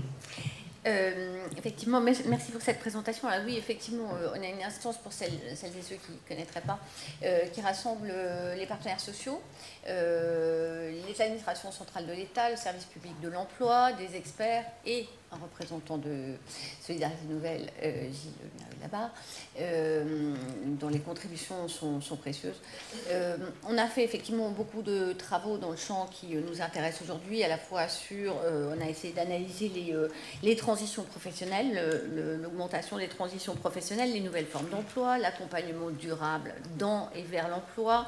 et je voulais si vous le permettez, juste avant de répondre à votre question et à titre euh, introductif, euh, revenir un peu sur le diagnostic. Effectivement, je, partage bien des choses qui ont été dites, à savoir que le, travail ne disparaît pas et, euh, la forme la plus stable, le, CDI, ne disparaît pas non plus, loin s'en faut, et demeure, largement, comme dans, beaucoup de pays occidentalisés, la forme dominante d'emploi n'a pas non plus d'explosion des CDD. Hein, elle est derrière nous, elle s'est largement passée dans les années 80-90 ce qui est nouveau, c'est le raccourcissement, euh, c'est le raccourcissement euh, des CDD comme des missions d'intérim et un raccourcissement euh, significatif. ce qui est nouveau aussi, c'est l'enfermement de certaines personnes dans des formes précaires d'emploi et la difficulté, oui, la difficulté pour des, gens qui sont soit jeunes, soit non qualifiés, soit les deux, à, à sortir. Mais c'est euh, comment dire, ce sont des problèmes spécifiques. C'est pas, on n'est pas en train d'assister à, et à, mon avis, on ne va pas assister de, sitôt à, ça, à l'explosion des, formes, de, euh, des formes de, travail. Ce qui est, ce qui est nouveau, c'est donc ça, et c'est le fait que le CDI lui-même s'est flexibilisé dans son contenu. Les horaires de travail, euh, le lieu où on travaille, le fait qu'on travaille pour un ou deux employeurs, toutes les formes de travail se sont flexibilisées. Euh, sous l'effet de plein de, facteurs, hein, globalisation, compétition accrue, technologie, etc.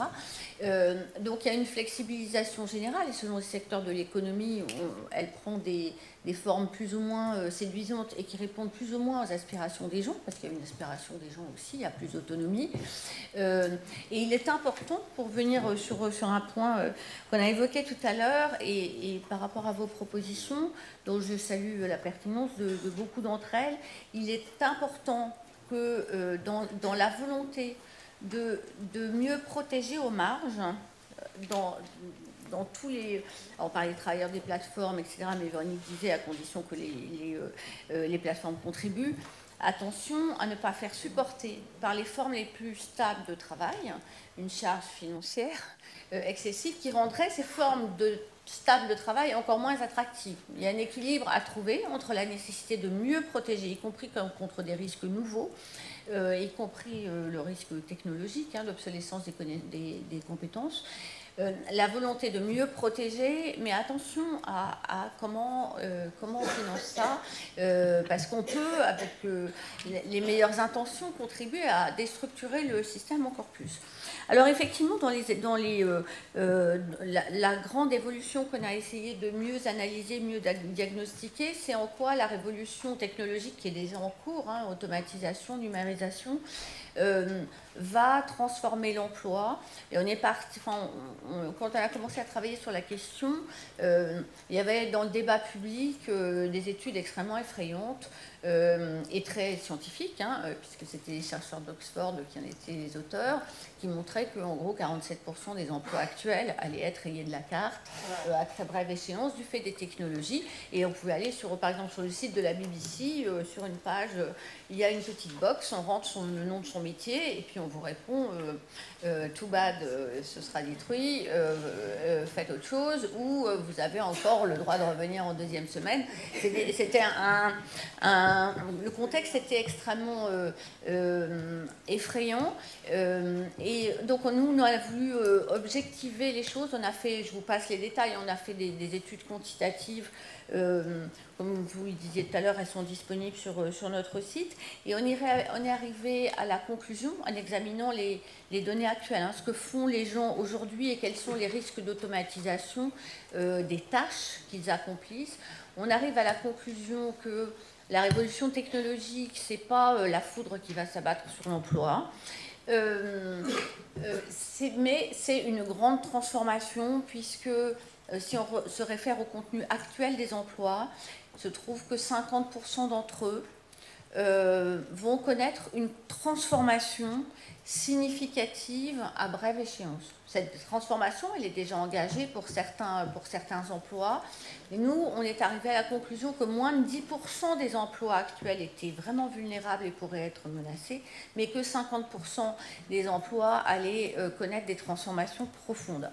Et donc on s'est intéressé à quel type de compétences on va avoir besoin demain pour pour accéder à ces nouveaux emplois ou conserver cet emploi si on en occupe un, ou se reconvertir, et on arrive à trois, on a, identifié trois types de, compétences. D'abord, il y a les compétences expertes dans les secteurs des technologies.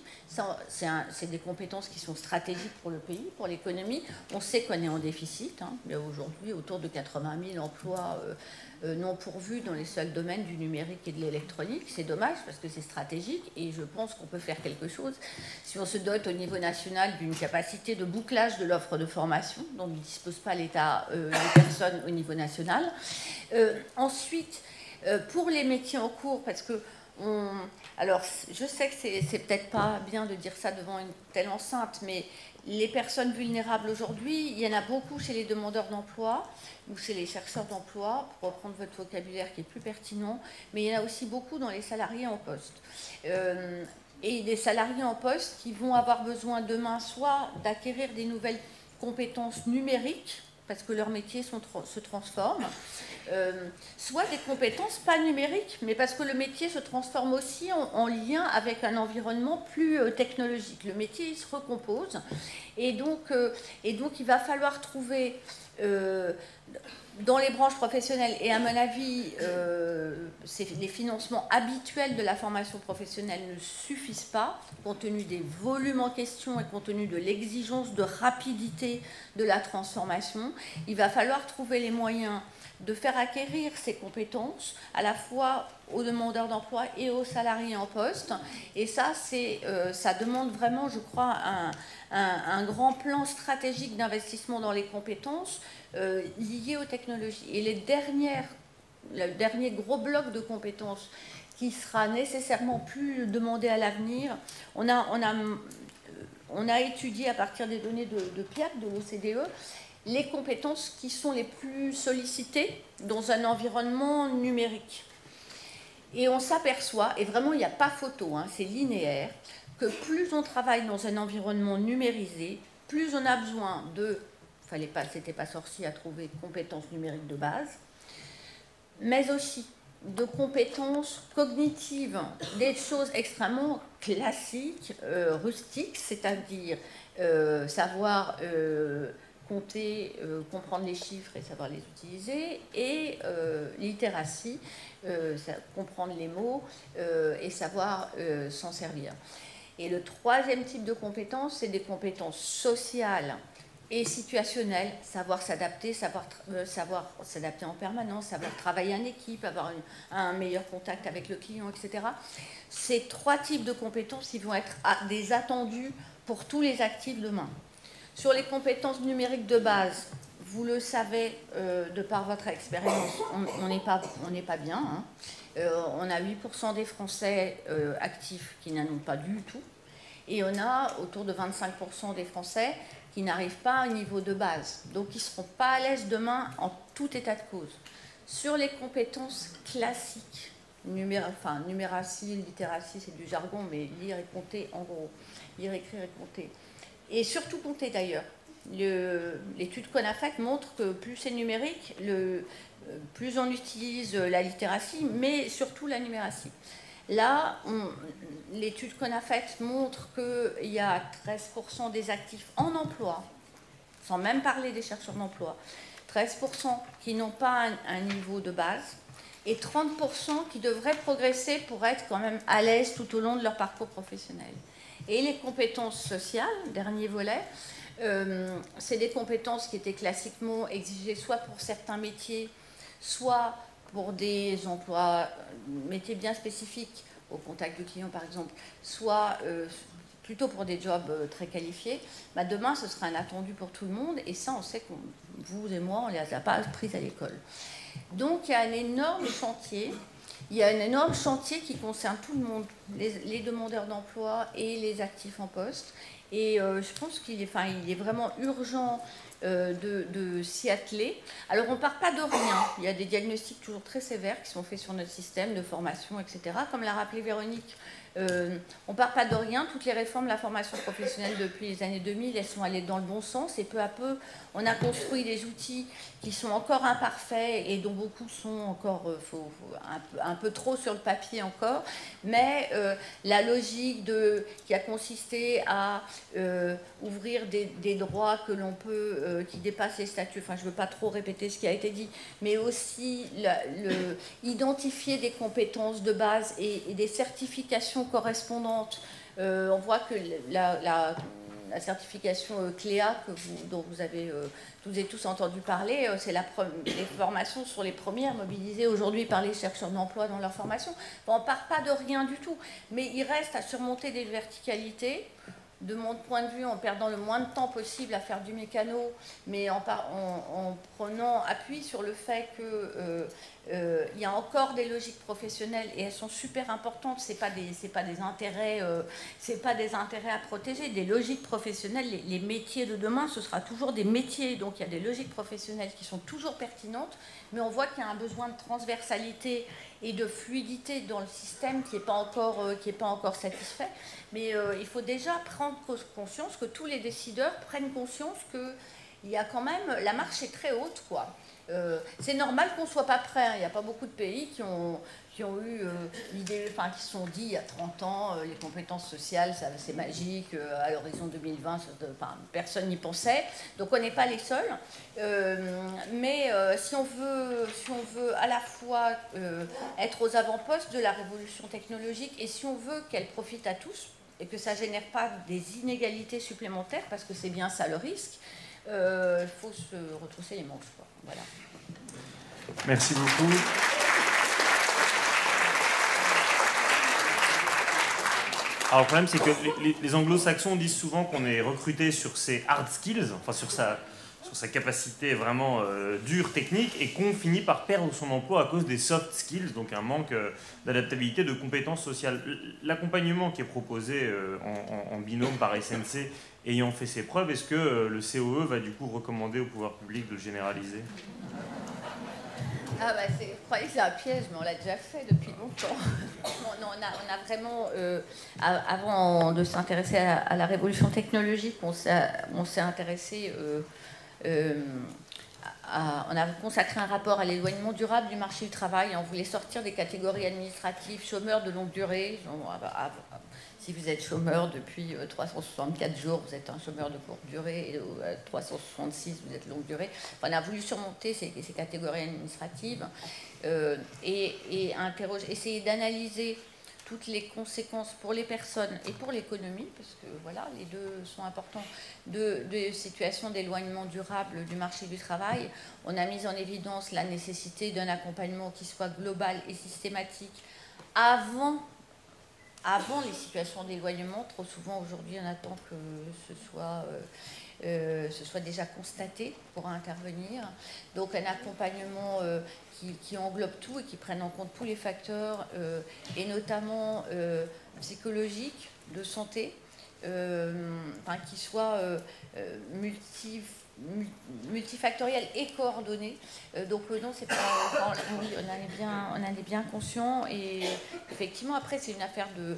Il y a une affaire de moyens, mais pas seulement. Hein. Il, y a, il, y a, euh, la façon dont on doit considérer aujourd'hui que le, le, les risques pour les personnes évoluent. Et aujourd'hui, en particulier en lien avec les technologies, un risque d'obsolescence des compétences. Au-delà même que du fait que c'est pas agréable d'être au chômage pendant euh, des années et qu'on perd euh, ses amis, confiance en soi, etc. Mais avec les technologies, enfin, il y a, un moment à partir duquel ce sera juste impossible de retrouver un boulot. Donc euh, les, conséquences de l'éloignement durable du marché du travail s'aggravent aujourd'hui. Donc il y, a une nécessité absolue de réinterroger le rôle du service public qui, euh, aujourd'hui, le rôle du service public, c'est pas seulement euh, de vous aider à trouver un travail, c'est de, vous accompagner euh, en, analysant les risques qui sont les vôtres, on n'est pas les mieux placés pour analyser ses propres risques face au marché du travail. Et c'est de fournir des prestations de qualité avec plein d'acteurs comme, vous, mais pour prévenir ces situations. Merci. Merci à vous. Et on va clôturer ce tour de table avec le, comme on a beaucoup maltraité la, langue française, on va dire le cofondateur de, Salle de classe ouverte, Pierre Dubuc. Ça te va comme ça? Très bien. entre, entrepreneur depuis quasi 18 ans, je crois. Euh, ce qui prouve que tu as commencé largement avant euh, l'âge légal. Euh, mais c'est pas grave. va, on va parler évidemment du, du, numérique. Certains parlent de nouvel illettrisme par rapport au fait de ne pas maîtriser les, compétences numériques. Peut-être est-ce que tu peux juste donner deux, trois mots sur Open Classrooms pour expliquer un tout petit peu ce que vous faites avec des, volumes, parce qu'on va parler du fait que la France n'a pas forcément pris le train de la, formation numérique. Donc dis un peu combien de personnes vous avez formées depuis quelques années. Merci. Donc, euh, bonjour à tous. Je suis euh, donc Pierre Dubuc, euh, cofondateur de Open Classrooms, en, anglais dans le texte. donc, c'est une plateforme d'éducation en ligne qu'on a créée il y a, il 4 ans, mais à la suite d'un très long projet personnel avec mon associé qui s'appelle Mathieu Nebra. En fait, on a commencé au, collège, donc effectivement avant l'âge légal, à créer des cours et à les publier gratuitement sur Internet pour aider des amis. On a commencé euh, ben, justement dans les nouvelles technologies. Notre premier cours, c'était sur la création de sites web. Et d'année en année, on a créé davantage de cours, on a fédéré une communauté autour de ça qui nous a aidés aussi. Et puis de plus en plus, euh, aider euh, des milliers de personnes, puis des dizaines de milliers de personnes, puis des centaines de milliers de personnes, jusqu'à en faire notre métier et en faire une aventure plus entrepreneuriale depuis 4 ans. Et maintenant, c'est devenu la plus grosse plateforme de formation et d'éducation en ligne en Europe et en Afrique. On forme 3 millions de personnes par mois. Euh, avec un focus autour de l'employabilité. C'est-à-dire que nous, on, s'est fixé une mission qui est de rendre l'éducation accessible à tous. Donc on, a cette mission de base qui est euh, dans ce, dans ce projet de rendre l'éducation accessible, mais avec euh, vraiment notre, notre focus, c'est l'employabilité. Donc on n'est pas sur du scolaire ou de l'académique, on est vraiment sur l'éducation et la formation dans le but de trouver son premier emploi, de se reconvertir, de retrouver un emploi ou de gagner en employabilité euh, en tant que salarié. Et donc euh, nous avons trois grandes cibles en fait, des étudiants pour trouver un premier job, des salariés pour monter en compétences et des demandeurs d'emploi, euh, des chercheurs d'emploi pour se reconvertir et retrouver, retrouver un emploi. Donc on se concentre sur les, les formations et les thématiques des compétences et des métiers d'avenir, euh, puisqu'effectivement, si on veut améliorer l'employabilité, il faut mieux euh, regarder un petit peu ce qui va se passer euh, demain. Donc on a commencé autour des nouvelles technologies, effectivement, tout ce qui est numérique, les métiers du numérique, par exemple développeur, le marketing digital, les sciences de la, des données, le design, l'entrepreneuriat, l'innovation, et jusqu'à aller maintenant sur des, des métiers dits plus traditionnels, hein, transverses à l'entreprise, mais comme vous le disiez, qui sont assez massivement transformés dans leur contenu par, euh, par le numérique, par exemple la comptabilité, par exemple les ressources humaines, le métier de commercial, euh, la gestion de projet, la communication, le management. Euh, donc ce sont des métiers que, que l'on traite aussi. Et on les traite d'une façon assez innovante puisque on propose des parcours entièrement en ligne qui sont diplômants de niveau Bac plus 2 à Bac plus 5, reconnus par l'État. Alors ça c'est un peu nouveau, c'est que Open Classrooms en fait est devenu un établissement d'enseignement qui est inscrit au rectorat de l'Académie de Paris, mais qui est un établissement pas très classique puisque tout se fait en ligne et donc avec une très grande flexibilité dans, dans l'approche. Et je dirais que c'est ça un peu qui a mené notre, notre projet depuis le début, c'est le constat que vous avez très bien réalisé auparavant, il faut former beaucoup plus de monde, des chercheurs d'emploi, mais aussi des salariés. Sinon, ils vont le devenir, chercheurs d'emploi. Donc, euh, là où on formait, on investissait beaucoup en, formation initiale, hein, eh il va falloir peut-être investir davantage sur la formation euh, continue. Et peut-être que euh, ces deux mondes qui étaient jusqu'ici assez cloisonnés vont se rapprocher sur la notion de formation tout au long de la vie on va former beaucoup plus de monde et beaucoup plus profondément, puisque la formation euh, professionnelle aujourd'hui, elle, est euh, quand même aussi beaucoup sur des formations de relativement courte durée. Or, euh, moi, ma génération, on, envisage, enfin, les, les études montrent qu'on devrait avoir à peu près au moins une dizaine de métiers différents. Donc ça veut dire que grosso modo, tous les 5 ans, il faut que je me reconvertisse et que j'apprenne un nouveau métier et une nouvelle qualification. Et clairement, apprendre un nouveau métier, pour ceux qui ont fait l'expérience de la reconversion, euh, ça ne s'apprend pas en 48 heures, ça ne s'apprend pas en deux jours de formation de 8 heures euh, en, en, présentiel, c'est pas suffisant. Donc on va aller vers des formations beaucoup plus longues euh, et en même temps tout au long de la vie. Et c'est quelque chose de relativement nouveau et sur lequel l'appareil de formation demande une grande adaptation puisque, pour vous donner un exemple très concret, aujourd'hui les sociétés d'assurance euh, quand votre chauffe-eau a éclaté dans votre, dans votre maison, dans votre appartement, vous les appelez, euh, et en, face, au bout du fil, vous avez un gestionnaire de sinistre. Gestionnaire de sinistre, vous lui dites voilà, j'habite dans un appartement euh, à tel endroit, mon chauffe-eau a éclaté, voici les dégâts, les voisins aussi, etc. Donc il vous pose plein de questions pour comprendre le sinistre, et puis à la fin, dans le but de vous aider à réparer et surtout de vous indemniser. Et donc, dans euh, les métiers de l'assurance, ben, il y a des milliers de personnes qui sont gestionnaires de sinistres.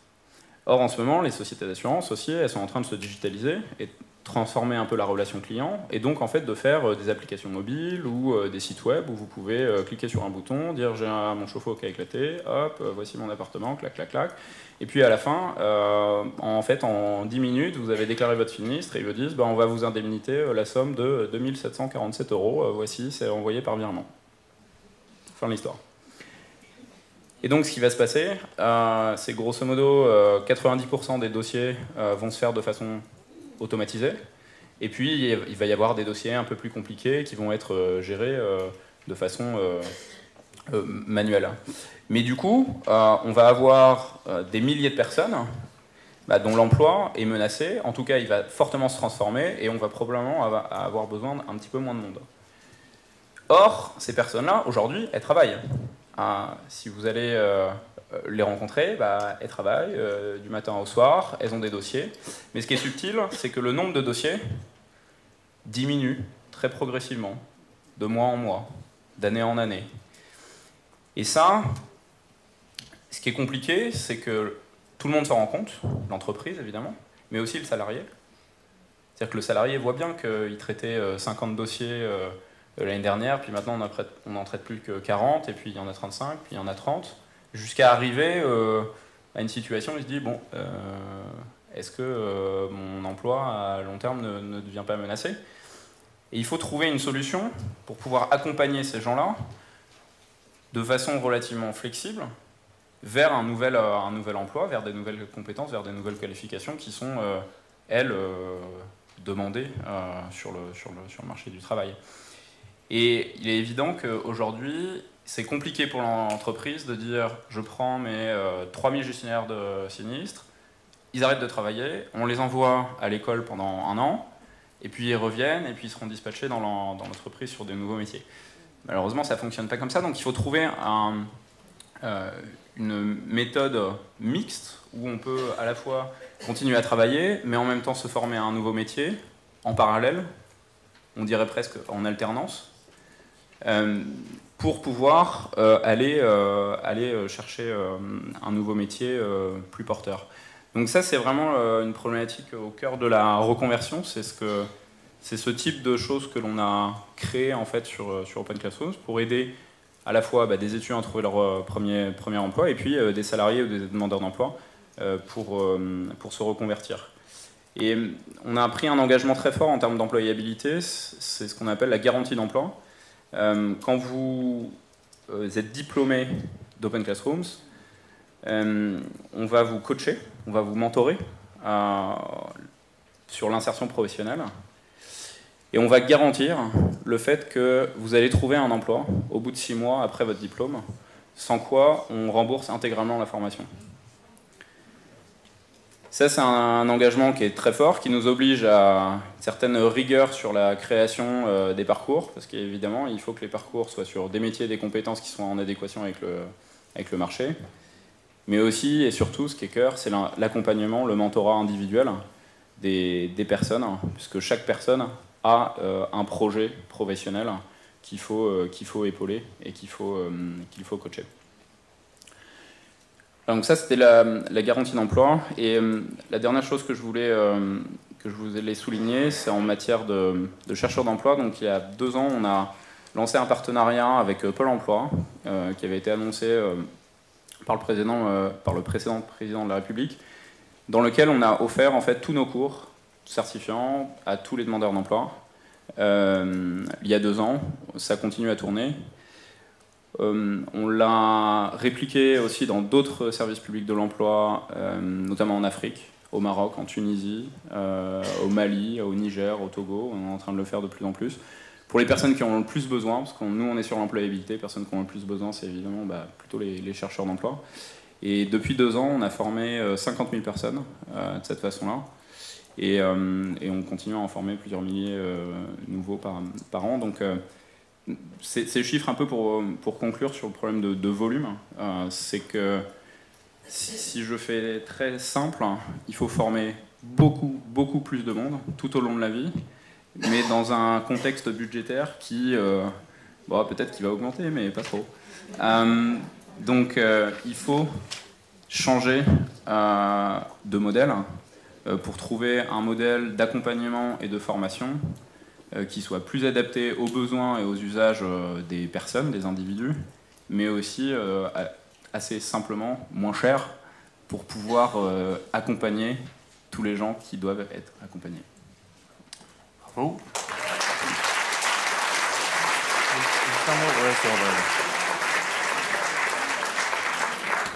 Alors un mot rapide parce qu'on me signale qu'il faut accélérer, mais je voudrais quand même le contact de ton assureur qui rembourse 2750 balles pour un chauffe-eau. Et, plus sérieusement, et plus sérieusement, évidemment, ceux qui ont été formés sauront se reformer et, ceux qui se sont déjà euh, habitués au numérique sauront se former à des nouveaux métiers numériques assez facilement. Mais quel accompagnement humain tu fais pour des personnes qui sont euh, plus âgés et vraiment ne maîtrisant pas du tout le numérique, en précisant que la, fourchette des utilisateurs d'Open Classroom dépasse celle de Fernand Nathan, puisque vous avez des étudiants de 11 à 86 ans, ce qui est quand même euh, très large. Exact, en fait, on a, on énormément de personnes en reconversion, et, donc souvent en reconversion, c'est plutôt des deuxièmes parties de, carrière. Donc là, il y a, quelques jours, euh, je regardais un petit peu les, récentes arrivées de, personnes. On, a ces derniers euh, euh, un gestionnaire forestier, on a euh, des techniciens dans l'industrie, on a des informaticiens dans le secteur bancaire, on a des hôtesses de caisse dans, la grande distribution. Donc c'est des profils qui sont extrêmement variés. Et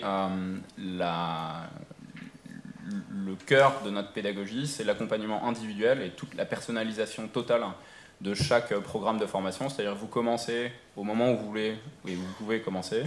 Donc c'est des dates complètement flexibles, votre rythme de travail est flexible et l'accompagnement se fait par ce qu'on appelle un mentor euh, individuel, hein, donc vraiment une relation euh, un à un, euh, en visioconférence chaque semaine. Donc c'est un expert du domaine hein, sur lequel vous vous formez. donc si vous voulez vous former sur la gestion de projet, vous allez être ah bah, confronté à un, chef de projet qui est euh, en activité depuis expérimenté et qui est actuellement en activité, euh, qui va pouvoir euh, vous aider, fixer des objectifs pour la semaine suivante, regarder les objectifs de la semaine passée, vous suivre dans votre progression, évaluer vos compétences. Donc il y a tout un système très très personnalisé et humain pour créer cette relation humaine qui permet d'accompagner à la reconversion. Ça se fait sur la formation, ça se fait aussi sur la VAE, la validation des experts expérience, ça se fait aussi sur l'insertion professionnelle. Donc là, on a différents types de mentors, soit des experts du domaine euh, au sens euh, hard skills, comme tu disais, et puis il y en a d'autres qui sont plus sur euh, le soft skills, c'est-à-dire l'insertion professionnelle. quel est ton projet professionnel En quoi est-ce que c'est connecté aux réalités du marché local autour de chez toi Quelle est la bonne posture à avoir vis-à-vis des entreprises Comment en faire ton CV, ta lettre de motivation, tenir un un entretien, etc. etc. parce qu'on se rend compte que quand vous formez quelqu'un sur un métier qui est porteur, si elle ne trouve pas du travail, il y a deux choses à régler. L'adéquation du projet personnel avec le marché local du travail et la posture face euh, à l'entreprise. Si vous réglez ces deux, ces deux axes, personne ne trouve un emploi. C'est aussi simple que ça. Alors on me dit qu'on a vraiment trois minutes, donc s'il y a une ou deux questions, on peut les grouper. Et sinon, je sais, euh, Marie-Claire, que vous vouliez faire une, Une réaction? Oui, madame, deuxième rang. Non, le fond de la salle vous entendra pas et c'est filmé, madame, donc il faut merci, assumer vos propos. Merci. Nicole Fénérol, SNC. Combien de personnes avez-vous qui, avec vous pour travailler, pour coacher tout, tout le monde? Parce que ça pas. D'accord, vous utilisez le télétravail, je suppose, mais, mais avec beaucoup de monde, quels sont les coachs? On, a effectivement un certain nombre de, de monde. Bah, le Open Classroom, c'est une. Équipe de 80 salariés, euh, plus le réseau de mentors qui ne sont pas salariés, qui, sont euh, à distance. Donc, euh, on, est très confronté au, au, futur du travail nous-mêmes pour nos propres salariés qui font beaucoup de télétravail et puis pour, pour les coachs. Les coachs, c'est à peu près 300 à 400 personnes aujourd'hui. Et c'est un chiffre qui augmente énormément parce que, effectivement, bah, plus on a besoin, plus on a d'étudiants, plus on a besoin de coachs donc qui euh, l'année prochaine devrait être 2000, 2000 personnes à peu près. Euh, donc ça, ça, ça, demande euh, pas mal de ressources, mais l'avantage c'est qu'on a beaucoup de professionnels qui sont très intéressés pour partager en fait leur savoir, accompagner des nouveaux entrants sur leur métier, et c'est une expérience, le mentorat, qui est extrêmement valorisante humainement. Parce que quand vous accompagnez quelqu'un qui est chercheur d'emploi depuis plusieurs années, euh, qui est en train de se reconvertir sur votre, sur votre métier, euh, humainement, quand la personne à la fin euh, décroche son diplôme et trouve un emploi, c'est très très fort. Oui. Ce sont des, des, bénévoles ou des salariés? Non, ça, ils ne sont pas salariés, par contre ils sont payés, oui. Alors on va, on va grouper les questions là. Sont des, sont des, pour, le statut, c'est des profs vacataires en fait. On est établissement, donc ce sont des profs vacataires. On prend juste ces deux questions-là, mais vraiment très court, parce que sinon je vais me faire. Euh, ça, ça, flingue déjà du regard. Allez-y. Bon, Paul Garde, donc SNC, euh, Essonne. Donc moi, donc, euh, bah, je félicite d'abord euh, M. Dubuc pour son action, mais j'ai deux remarques par rapport aux intervenantes précédentes. Alors pour Véronique Descac, euh, ce que je voulais dire, on parlait de qualification. Alors moi, sur mon expérience SNC, c'est à peu près 5 ans. Je veux dire qu'il faut se méfier de dire un non qualifié c'est difficile, un qualifié c'est difficile. Juste un clin d'œil sur, mes expériences.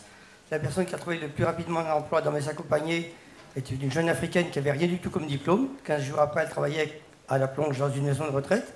C'est peut-être pas terrible, mais c'est un emploi, c'est du concret. Celle qui a mis presque le plus longtemps, elle avait un bac plus 19, deux doctorats d'État plus un MBA. Il a fallu deux ans et demi pour qu'elle accompagne des doctorants avec un salaire quand même quatre fois inférieur à son ancien salaire. Juste un clin d'œil donc sur le côté qualification. Et pour Marie-Claire euh, pardon. Donc euh, là, c'était par rapport au numérique et tous ces côtés-là. Je pensais aussi à un autre aspect auquel il faut penser. Avant-hier, j'étais avec Madeleine Corde, donc, qui est une psychologue du siège, et on voyait qu'il y a un aspect qu'il ne faut pas oublier. Par contre, au-delà de la détresse du numérique, ça je connais parce que mes collègues savent que Dropbox, je ne sais pas y aller, mais, et je m'en fous, mais ça c'est pas grave. Mais ce qui est important, je veux dire par là, c'est que psychologiquement, par exemple, euh, et j'ai un accompagné dans ce genre-là, on, on, en a de plus en plus, des gens, un chef d'entreprise par exemple, qui lui avait plein de dynamisme, plein de tout, sauf que là il est au-dessous au au de zéro, et que cet aspect-là, il y en a de plus en plus, et les psychologues du siège le voient bien, il n'y a pas cette personne pour les accompagner, et le pire de tout, je pense à un des collègues qui était là avant-hier, c'est que c'est l'accompagnateur SNC qui lui-même se retrouve en détresse psychologique. Donc vous voyez, je crois qu'il y a un aspect qu'il ne faut pas oublier, c'est que le numérique, c'est bien, mais pas oublier cet aspect psychologique. Voilà, merci. On a une conception différente de, de très succinct, madame. Je vous demanderai d'être un tout petit peu plus synthétique encore. Moi, ce sera, ce sera plus terre à terre. Alors, Monique Bonenfant m'en parle 15. Je voulais savoir comment sont financées vos formations. Voilà, donc qui veut, qui veut répondre, répond tant que c'est d'un mot. Soit par l'individu, soit par l'entreprise, soit par le CPF et les différents financeurs Pôle emploi, euh, région. Euh, donc ça dépend de chaque cas euh, individuel. Mais chômeurs, ça s'appelle en Pôle emploi et, les régions ou le, CPF, avec les difficultés qui ont été évoquées en matière d'accès au financement aujourd'hui, puisqu'il y a un taux d'acceptation de, des dossiers qui est quand même encore très très très très faible, de l'ordre de 5% maximum. On a vu une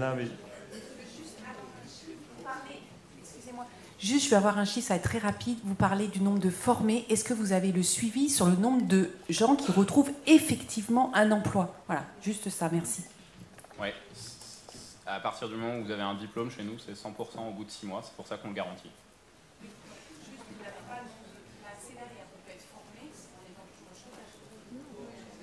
Je, je viens de répondre, c'est 100% des personnes qui sont diplômées. Diplômées, oui. Et entre, entre le début de la formation et le diplôme, c'est 87% de réussite. Donc ça vous donne entre tout le début, c'est-à-dire que s'il y a 100 personnes qui commencent, j'en ai 87 qui obtiennent le diplôme, et ces 87-là, il y en a 87 qui trouvent un boulot au bout de 6 mois. Oui, tout à fait, ouais. ouais. Non, mais je- enfin, un mot, oui, c'est vrai qu'on peut toujours citer des exemples de gens super diplômés qui galèrent et d'autres euh, sans diplôme qui, qui, ont suffisamment de soft skills, comme on dit, ou de compétences sociales pour euh, trouver un travail. Mais bon, les statistiques, cher à Claude Didry, il ne me démentira peut-être pas sur ce point-là, euh, montrent quand même que c'est un écart de 1 à 3 chez les jeunes, hein, entre, euh, dans l'accès à l'emploi, entre ceux qui ont une qualification et ceux qui n'en ont pas. Si, si, je démentirai parce qu'il y a l'échantillon démographique permanent de l'INED qui montre que les moins qualifiés, ceux qui sortent très tôt le système scolaire, trouvent un, un- un CDI de manière plus longue et plus chaotique que ceux qui n'ont pas de formation, mais ils le trouvent. hein. Donc euh, je crois que c'est des éléments qui sont importants. Moi j'avais une question à poser euh, peut-être euh, à Monsieur Dubuc et puis peut-être à, à- à Véronique. C'est Monsieur Dubuc, c'est cette dimension on avait dit des employeurs cette dimension des employeurs. Quelle est la part des employeurs dans, dans la démarche de reconversion? J'ai vu une émission sur la, la Poste où il y a toute une reconversion des facteurs qui est engagée vers le CARE. Euh, et avec la des mentors dans ce domaine, euh, est-ce que là, il n'y a pas un- un- peut-être un certain manque dans euh, la formation? Est-ce qu'on n'a pas une si- situation d'individualisation qui précisément va à l'encontre de ce besoin d'accompagnement collectif? Euh, ça. Et alors, peut-être, est-ce qu'il n'y a pas non plus aussi Ouais, vraiment, vraiment, vraiment. dimension Non, syndicale, non, non, ça- non, vraiment, dimension syndicale qui, Ouais, qui serait à, à faire intervenir pour le mentorat. Il me semble que le syndicalisme, c'est un élément qui manque dans votre association. Il y a-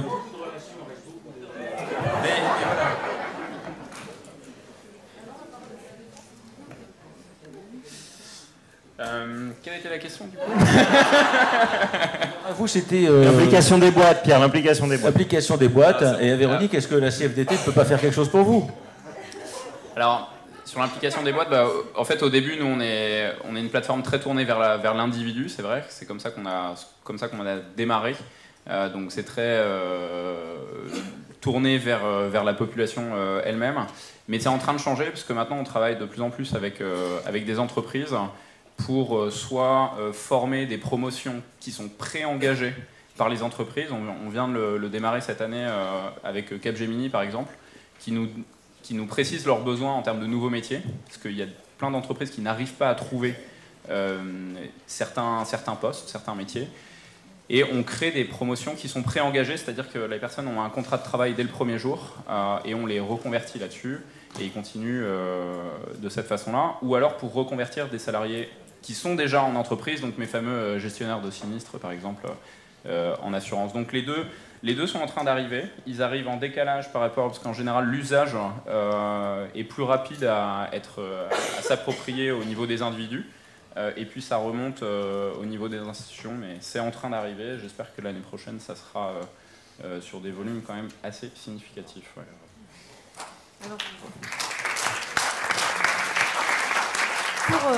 sur, la responsabilité des employeurs, les réformes successives de la formation professionnelle ont donné aux employeurs une obligation de résultat sur le maintien d'employabilité de leurs salariés. hein.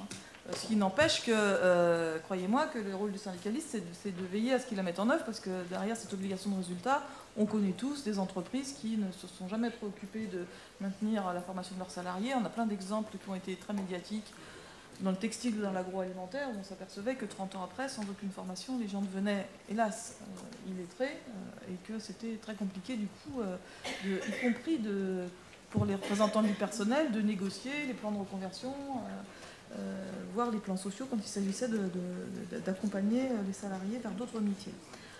Et il faudra faire particulièrement attention à ça dans la réforme à venir, parce qu'avec le compte personnel de formation, on voit bien qu'il y a une tendance de chacun des acteurs de tout renvoyer vers le compte personnel de formation. Une tendance de Pôle emploi à dire, ben, utilise, plutôt que je te paye sur les fonds ou une tendance des régions, plutôt que ce soit moi qui paye, demande donc un compte personnel de formation et aux employeurs de faire la même chose. Donc il faudra faire très attention, c'est un des enjeux importants pour nous, de maintenir la responsabilité des employeurs dans le maintien en employabilité et y compris la reconversion des salariés. Et puis sur l'aspect euh, sur l'aspect organisation syndicale, j'ai trouvé que c'était juste ce qui manquait un peu, un exemple que je connais bien sur l'assurance, parce que moi je viens du secteur de la banque et des assurances, c'est que le moment où euh, on, voit qu'il faut transformer les compétences, et puis le moment où euh, on, va pas faire le coup près justement, mais l'organiser de façon progressive, eh bien c'est le dialogue social qui fait ça. La gestion prévisionnelle de l'emploi et des compétences, eh c'est la capacité du dialogue social à anticiper, à voir un petit peu avant que le salarié se rende compte lui-même par la baisse de son nombre de dossiers. Normalement, les organisations syndicales et les employeurs, ils ont cette vision stratégique du fait que ça va arriver et ils préparent en amont, et d'ailleurs Marie-Claire me soufflait un exemple qu'elle a vu à Hambourg, ils préparent en amont cette transformation des emplois, cette transformation des compétences et ils négocient la façon dont ils vont arriver finalement chez vous après. Merci beaucoup à tous les quatre. On va, je vais vous remercier, on va enchaîner tout de suite.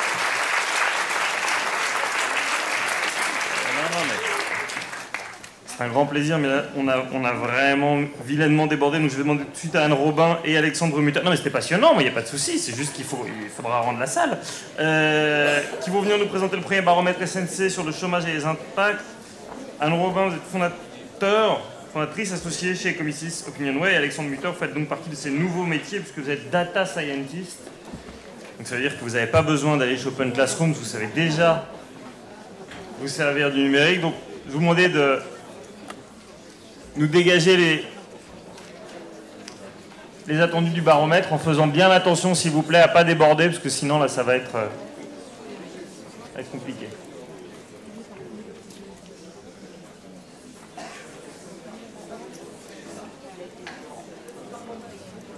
Allez-y, allez-y.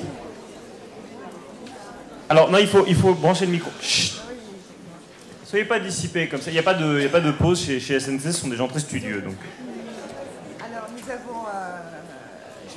Présente Robin, je suis philosophe sociologue, et euh, Alexandre Mutter, directeur d'études, data scientist. Ça fait quatre métiers euh, qui, vous parlent. Euh, je voudrais juste donner deux clins d'œil, un clin d'œil à Victor Hugo et un deuxième clin d'œil à l'INSEE, parce qu'on traite beaucoup la statistique, mais je vous rappelle quand même qu'on a un des instituts de la statistique les plus performants en Europe, euh, pardon, excusez-moi. Je, disais, je faisais un clin d'œil à l'INSEE pour les saluer, car on a quand même un institut de la statistique, un des plus performants en Europe, et euh, ça mérite quand même d'être appelé euh, en France. Voilà. je ne sais pas ce que vous voyez. Voilà. Alors, la méthodologie de l'étude. Alors, c'est quoi une étude, en fait? C'est une écoute lorsque le SNC est venu nous, voir pour nous dire on va lancer un baromètre, c'est la première vague du baromètre. Il est clair que sur la, nouvelle, la population étudiée, on s'est dit bah, il faut écouter, il faut compter. Il ne s'agit pas de poser euh, dix 10 questions fermées comme ça, puis de dire euh, on va voir ce que ça se passe dans le temps, on va essayer d'écouter. Donc ce baromètre a été euh, s'est porté sur 2012 personnes. L'échantillon a été représentatif de la population des euh, Hélène, elle peut changer. L'échantillon a été représentatif de la population des 18 ans et, plus. Nous avons enlevé les retraités. Et ce que je voulais essayer de faire dans ces 10-15 minutes, c'est essayer qu'on oublie un petit peu quelques pourcentages, justement. Arrêtons les pourcentages parce que je crois que les chercheurs d'emploi, ce n'est pas un pourcentage qu'on met à la hausse, à la baisse, etc. Ce sont des personnes. Donc on va essayer de parler de ces personnes et on va essayer de comprendre comment ils se situent dans le tissu d'être économique euh, de nos ressources humaines aujourd'hui. Voilà. Alors, la population, si vous avez 10 euh, euros dans votre porte-monnaie, vous n'en avez pas 100. Donc c'est pour ça que plutôt que de trop parler de pourcentage aujourd'hui, on va essayer de parler aussi en millions. Euh, parce que quand on dit, oh, il n'y en a que 10%, ben, si 10% c'est 2 millions, euh, si 10%, de quoi parlons-nous en vérité? L'univers considéré dans notre étude est donc de 35,2 millions d'actifs et inactifs, une fois que nous avons enlevé les retraités. Nous n'avons pas souhaité les interroger simplement pour avoir suffisamment d'échantillons et de demandeurs d'emploi. Alors, en emploi, il y en a 24,8 millions en France? J'ai entendu un chiffre récemment à la télévision, notre ministre du Travail qui ne donnait pas le même, mais je peux vous promettre que c'est le bon chiffre. En recherche d'emploi, nous en avons trouvé 3,3 millions et on dirait qu'il y a 7 millions d'inactifs, euh, soit 20%. Ce qui est important là, c'est sur quel univers considéré se, pose un taux. Là, vous entendez parler d'un taux de 9% de chercheurs d'emploi. Mais vous allez voir, on peut aussi en parler autrement de ce 9%.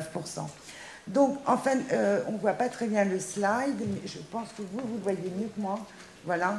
Donc, on s'aperçoit qu'en emploi et en recherche d'emploi, on a en fait un nombre de dits actifs de 28 millions euh, de, personnes euh, en France, je répète, de 18 ans et plus et pas retraités.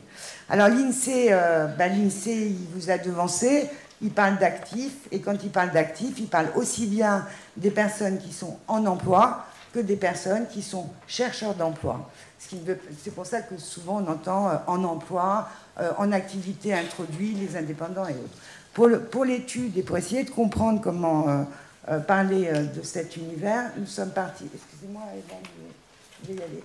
Voilà. Euh, on peut passer aussi celle-là, parce que j'ai 15 minutes. Donc, ce, pour, parler là, on va parler uniquement des actifs. Alors, si on parle des actifs, on rappelle que c'est aussi bien les personnes en emploi que les personnes chercheurs d'emploi on s'est aperçu que, en posant la question simplement, euh, avez-vous connu une période de recherche d'emploi dans votre carrière professionnelle, que 60% euh, des personnes aujourd'hui en emploi, donc 6 personnes sur 10 aujourd'hui en emploi, avaient connu une expérience de chercheur d'emploi et de chômage. C'est pas rien, c'est important. Ça veut dire quoi en fait? C'est que on est dans le même tissu. Et tout ce que nous avons entendu jusque-là, euh, c'est intéressant de le rappeler quand même euh, au niveau de comment on parle, comment on se parle. Donc c'est un cliché qui se lève. Il n'y a pas les chercheurs d'emploi dans un camp et puis euh, les personnes en emploi dans l'autre. C'est pas vrai ça. Aujourd'hui, tout le monde s'entrecroise et tout le monde va parler le même langage. Donc tout ce qui va faire, tout ce qui va créer la volonté de diviser le monde de l'emploi avec le monde de chercheurs d'emploi, ben, c'est pas vrai, c'est artificiel. On peut passer. Alors les personnes en emploi et les chercheurs d'emploi, ben, ils ont une perception partagée quand on risque du chômage, euh, des compétences de même niveau, voire des nouvelles pratiques. Afin de bien écouter comment ces deux univers parlaient, au sein même de la même étude, on a donc posé des questions et on a pu poser la question aux personnes qui étaient en emploi et la même aux personnes qui étaient chercheurs d'emploi. Qu'est-ce qu'on a obtenu? Ben, En fait, 92% des chômeurs, évidemment un petit peu plus que les personnes en emploi, vont dire tout le monde un jour peut euh, se retrouver au chômage. Globalement, les chercheurs d'emploi sont aussi compétents que les personnes en emploi. 7 personnes en emploi sur 10 disent exactement la même chose que les chercheurs qui vont dire un petit peu mieux.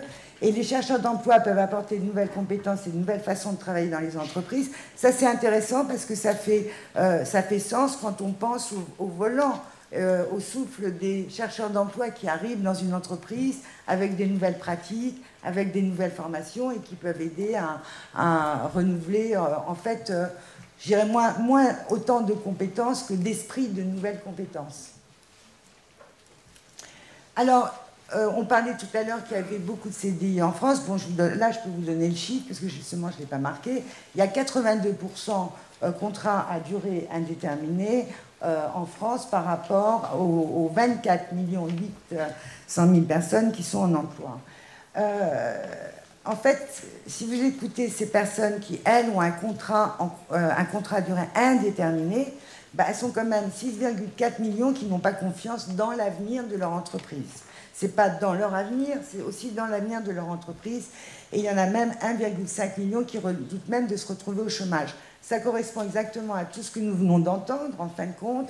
Bon, c'est évidemment les 30 à 40 ans qui arrivent en tête quand il s'agit de dire ne plus pouvoir faire face euh, à la maison pour laquelle on a un crédit et autres. C'est la crise, la conjoncture, difficulté de trouver du travail, c'est quand même près d'un tiers. Quand on parle de l'âge euh, bah, c'est plutôt évidemment 55 ans et plus qui vont faire que je ne peux plus perdre. Si la sécurité de l'emploi est fragilisée, les lois évidemment à venir font un petit peu peur. Les conditions de travail de plus en plus contraignantes. On parle beaucoup actuellement de stress, de burn-out. Là, on est bien sur l'univers des personnes qui redoutent de se retrouver au chômage et non pas les 8% sur le total de l'univers des personnes en emploi.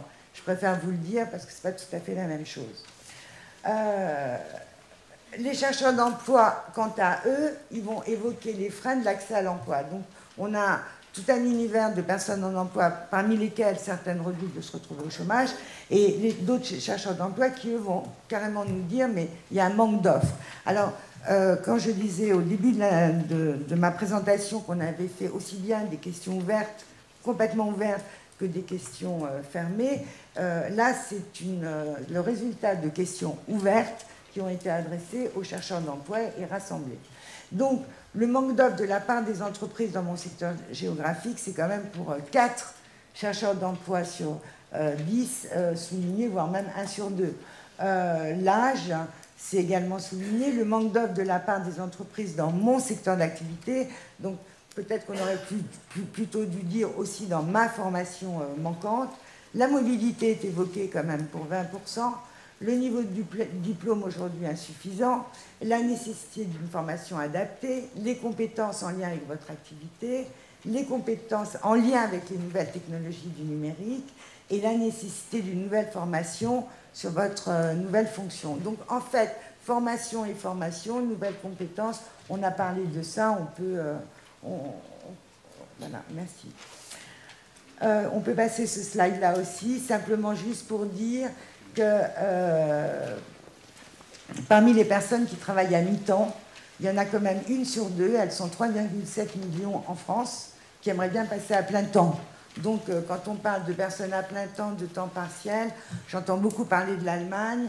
On a fait, j'ai fait pas mal d'études en Allemagne aussi. Bon, bah, c'est vrai, quand il y a beaucoup, beaucoup de plein temps, on parle beaucoup de plein emploi. Mais quand il y a beaucoup de temps partiel, bon. Alors, la période de chômage, ben, en fait, il y a quand même comme la galère, elle est passée.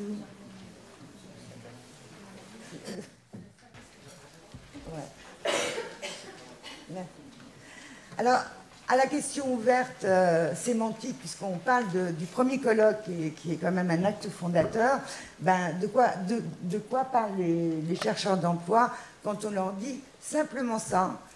Quel mot associez-vous au chômage? Voilà exactement la question qui a été posée.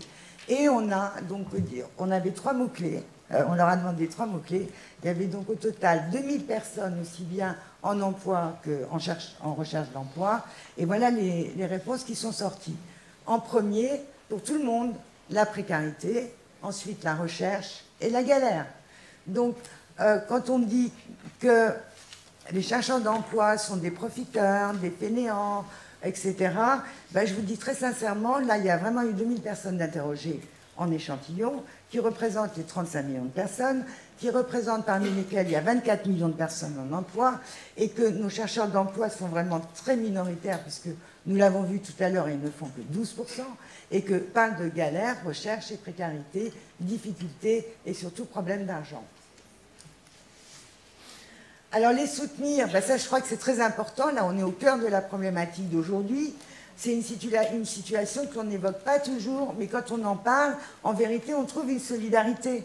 Donc euh, c'est vrai qu'il y a une auto-stigmatisation du chercheur d'emploi. Quand il en parle à ses proches, euh, il va en parler avec facilité. Bon, auprès de ses amis, ils sont déjà plus, plutôt un tiers à en parler. Et puis alors auprès des collègues, c'est plus que 16%. En revanche, quand ils en parlent, ils trouvent une solidarité pour 6 euh, pour six chercheurs d'emploi sur 10 au niveau de la famille, 1 sur 2 auprès des amis quand même, et auprès des collègues, un tiers. Donc il y a quand même, dès qu'on en parle, une solidarité. Je pense qu'un des premiers rôles euh, d'un accompagnateur, d'un chercheur d'emploi, c'est de lui dire, écoute, tu risques rien si quelqu'un n'est pas sympathique avec toi, euh, parle-en. Parce que si, tu verras toujours une main tendue.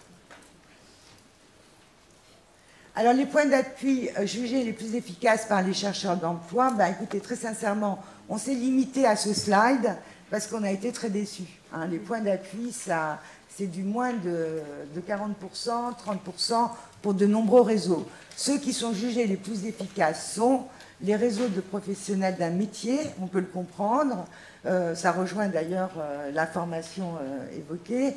Les cabinets de recrutement, les chasseurs de tête, mais c'est bon, 54%, c'est quand même un sur deux, hein, c'est pas beaucoup. les réseaux d'entreprise, clubs entreprises, 50%, et les réseaux sociaux qui apparaissent avec 45%. Mais enfin, ce ne sont pas des scores de... encore une fois, si on parle en millions, ça fait quand même sur 3,3 millions de chercheurs d'emploi, 1,5 million qui, qui ont répondu qu'ils n'étaient pas efficaces. Plus d'écoute et plus de considération, près de 7 chercheurs d'emploi sur 10 souhaiteraient connaître les raisons pour lesquelles ils n'ont pas encore été embauchés. C'est quand même incroyable. on a entendu, lu des verbatimes où des chercheurs d'emploi disent J'ai passé deux, trois entretiens avec cet employeur, il ne m'a pas retenu, mais il ne m'a même pas appelé. Je suis dans le silence. Voilà. Donc, euh, je ne parle même pas des réponses à des, envois de CV. On parle bien des réponses à des entretiens.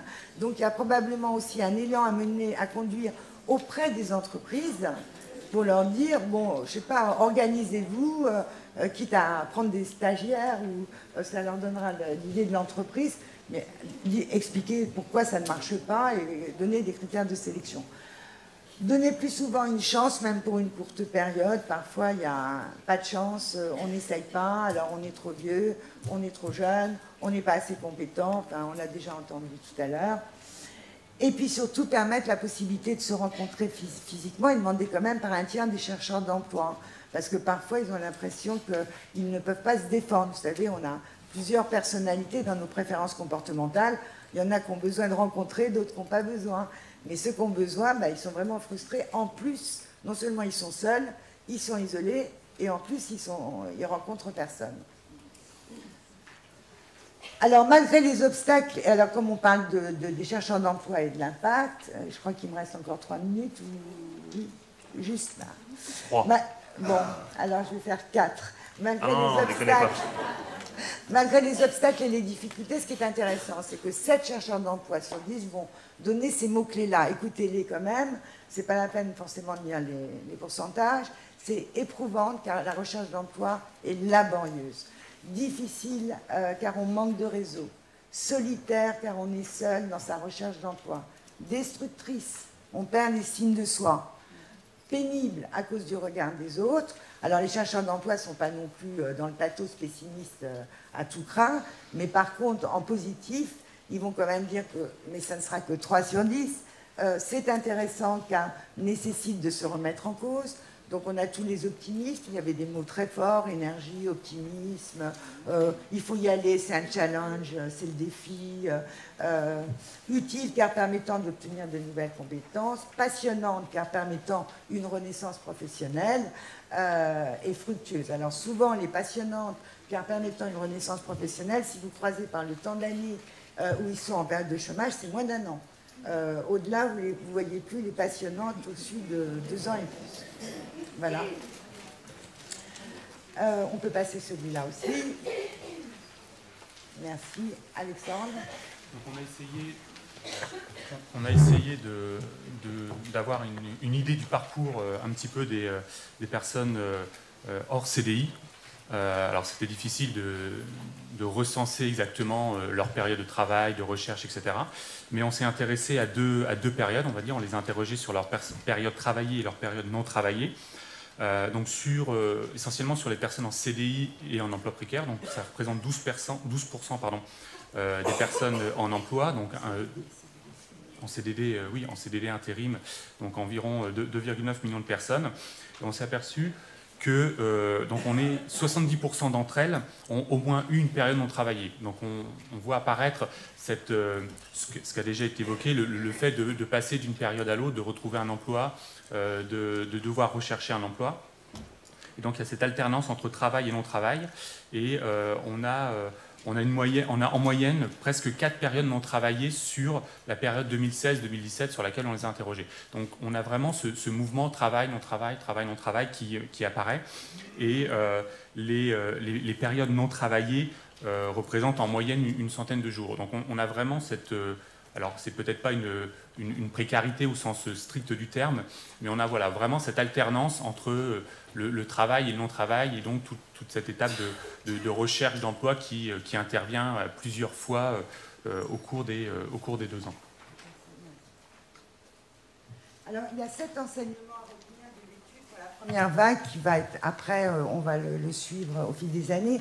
C'est d'une part, le chômage est une expérience partagée par 60% des personnes qui déclarent avoir un emploi. Donc, qu'ils parlent le même langage euh, dans, euh, dans la galère, le désarroi, le malheur, le désespoir, c'est juste.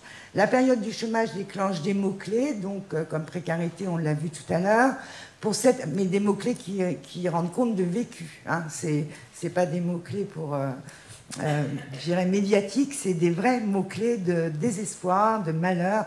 D'ailleurs, il y a beaucoup de personnes en emploi qui vont dire Oh, il n'a pas de chance, il est chercheur d'emploi.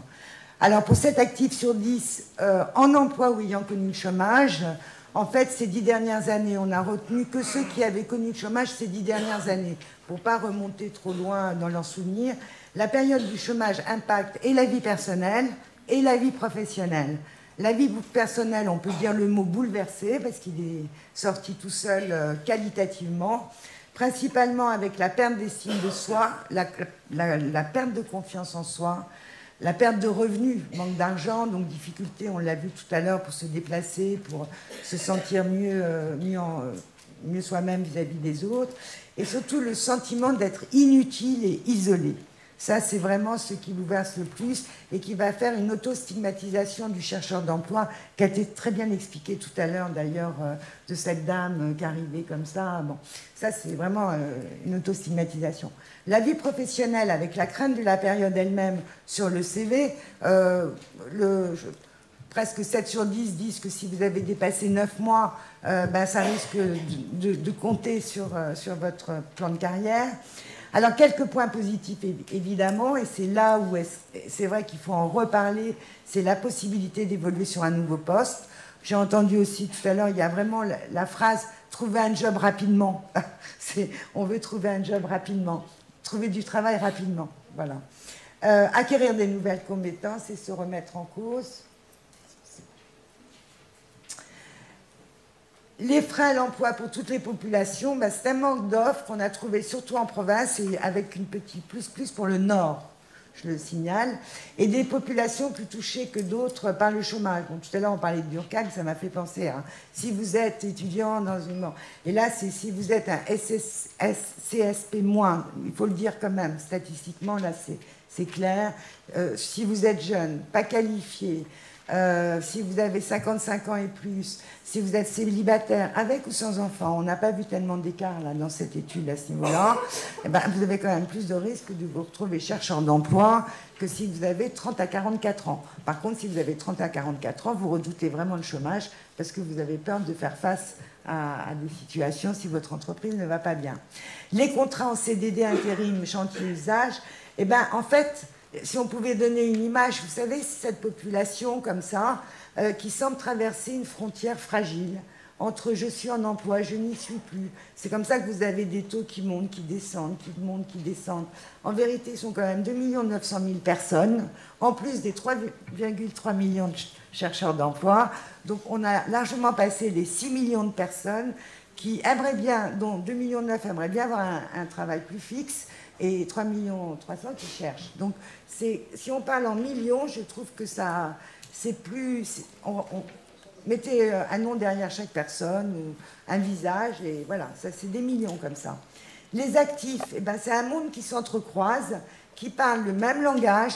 N'allons pas dire que les personnes en emploi euh, parlent mal des chercheurs d'emploi, c'est pas vrai. C'est 19% qui ont donné euh, des mots style bon, fainéant, il ne cherche pas vite ou des choses comme ça. Mais c'est 2 sur 10. Tous les autres n'ont dit que des choses positives. Donc, je dirais, sont solidaires, sont vraiment solidaires. Et donc, l'étude révèle euh, deux, grands mots-clés pour aujourd'hui. C'est un monde d'actifs qui rappelle l'importance de la reconnaissance sociale des chercheurs d'emploi en tant qu'actifs. Parce que la recherche d'emploi, c'est du travail. Hein, c'est ce qu'on a retenu. Et surtout, euh, la question aux recruteurs et employeurs, pourquoi on ne nous a pas embauchés? Et puis un monde d'actifs qui signale, alors actifs aussi bien en emploi que chercheurs d'emploi, une efficacité vraiment mitigée par les organismes en charge du recrutement ou de leur accompagnement, excepté pour les réseaux professionnels d'un métier. Donc, euh, ben voilà, euh, la conclusion pour... vous avez du travail devant vous parce que les organismes devrait encore plus euh, travailler. Merci infiniment. Je suis extrêmement navré de ne pas pouvoir vous relancer avec d'autres questions euh, parce qu'il faut que je libère mes intervenants sur la table ronde suivante. Donc je renvoie tout le monde euh, à ce rapport qui est très précieux avec des chiffres un peu terribles qui ont été énumérés. Je pense évidemment aux 44% de chercheurs d'emploi qui le sont depuis plus de deux ans. Donc voilà, lisez, vous avez ça, dans vos dossiers et on va sans transition passer, si vous voulez bien, à la dernière table ronde, à savoir actionner les territoires pour des reconversions professionnelles. Oui, mais comment? Voilà une question qu'elle est bonne. Et je vais demander donc à Elisabeth Ekpers, Valérie de Coloron, Grand-Guillaume et Enyamou de me rejoindre. Cher Président, euh, quand même vous avez peut-être été un tout petit peu ambitieux quand même sur le programme où il se passe, euh, il se passe beaucoup de choses.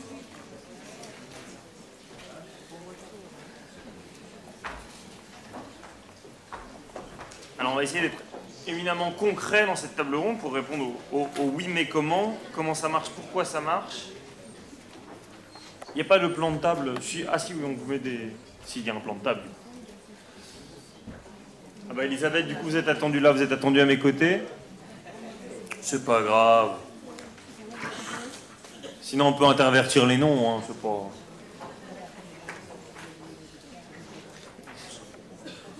Alors Laurent Grand-Guillaume, si vous voulez bien, je vais commencer euh, avec vous. On peut, faire des questions courtes et des réponses courtes, il n'y a pas de souci. Vous connaissez bien la maison puisque vous étiez député jusqu'en juin. Vous avez vous-même euh, décidé de ne pas vous représenter. Vous connaissez évidemment très très bien les questions d'emploi, euh, à la fois parce que vous avez porté un certain nombre de projets de, loi qui ont été acceptés pour, l'un d'entre eux à l'unanimité, ce qui est suffisamment rare, ce qui prouve que parfois le sujet peut faire consensus. Et aujourd'hui, on vous reçoit parce que vous êtes président de l'association Territoire Zéro Chômeur de longue durée et vice-président de la fondation euh, Travailler Autrement. Peut-être un petit mot sur ce que sont les territoires euh, zéro chômeur de longue durée, comment ils ont été lancés, avec quelle finalité? D'abord, merci pour votre invitation. Euh, je dois saluer dans la salle Michel de Verville, qui est vice-président de l'association Territoire Zéro Chômeur de longue durée. Et je souhaite que vous ne le sollicitiez pas trop à SNC, parce qu'on en a besoin aussi, hein, parce que je sais qu'il participe avec vous.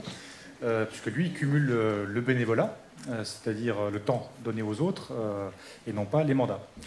Et donc les territoires zéro chômeur de longue durée. c'est un projet qui est né d'une réflexion de Patrick Valentin. Il est aussi très engagé et il a été accompagné dans cette réflexion par ATD Carmonde. Et donc, il était venu me rencontrer pour me présenter cette idée très innovante qui consiste à dire que d'abord, personne n'est inemployable, première chose.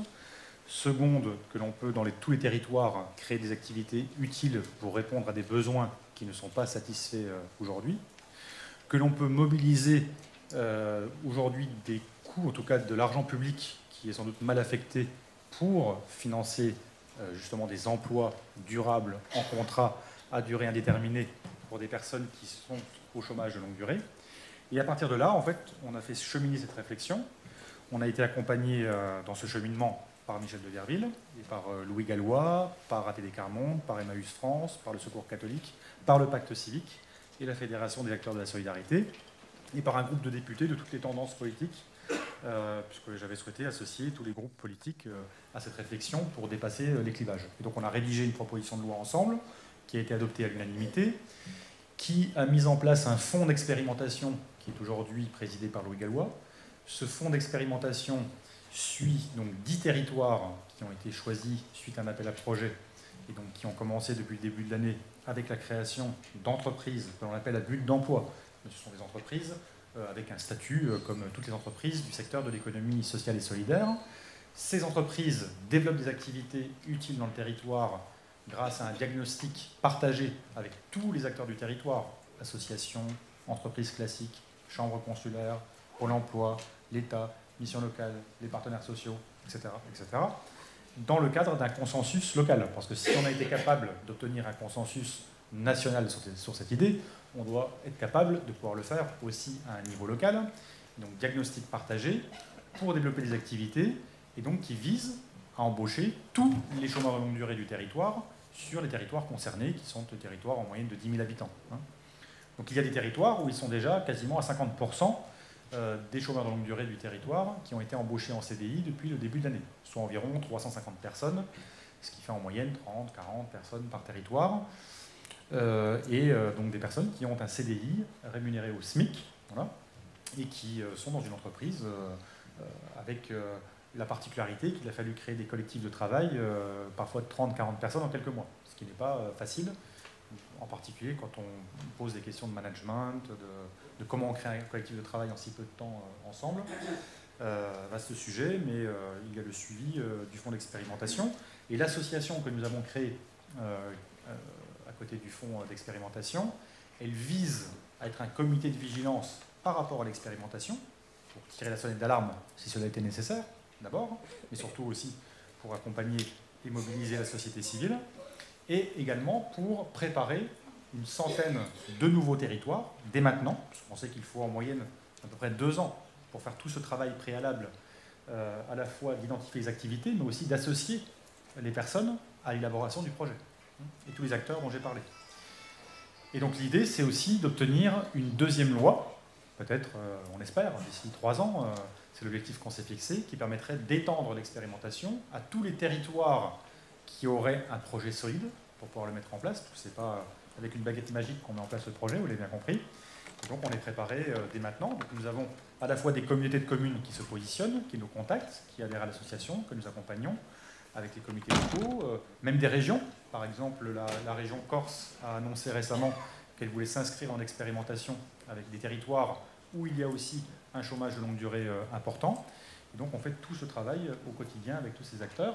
Et euh, je peux vous dire que quand on a été parlementaire, c'est une chose, mais quand on a, fait, on a défendu une loi, en particulier avec la société civile, avant, pendant et après, et que l'on voit concrètement des personnes qui retrouvent un emploi, qui retrouvent confiance en elles, parce qu'en fait, elles ont toutes des compétences.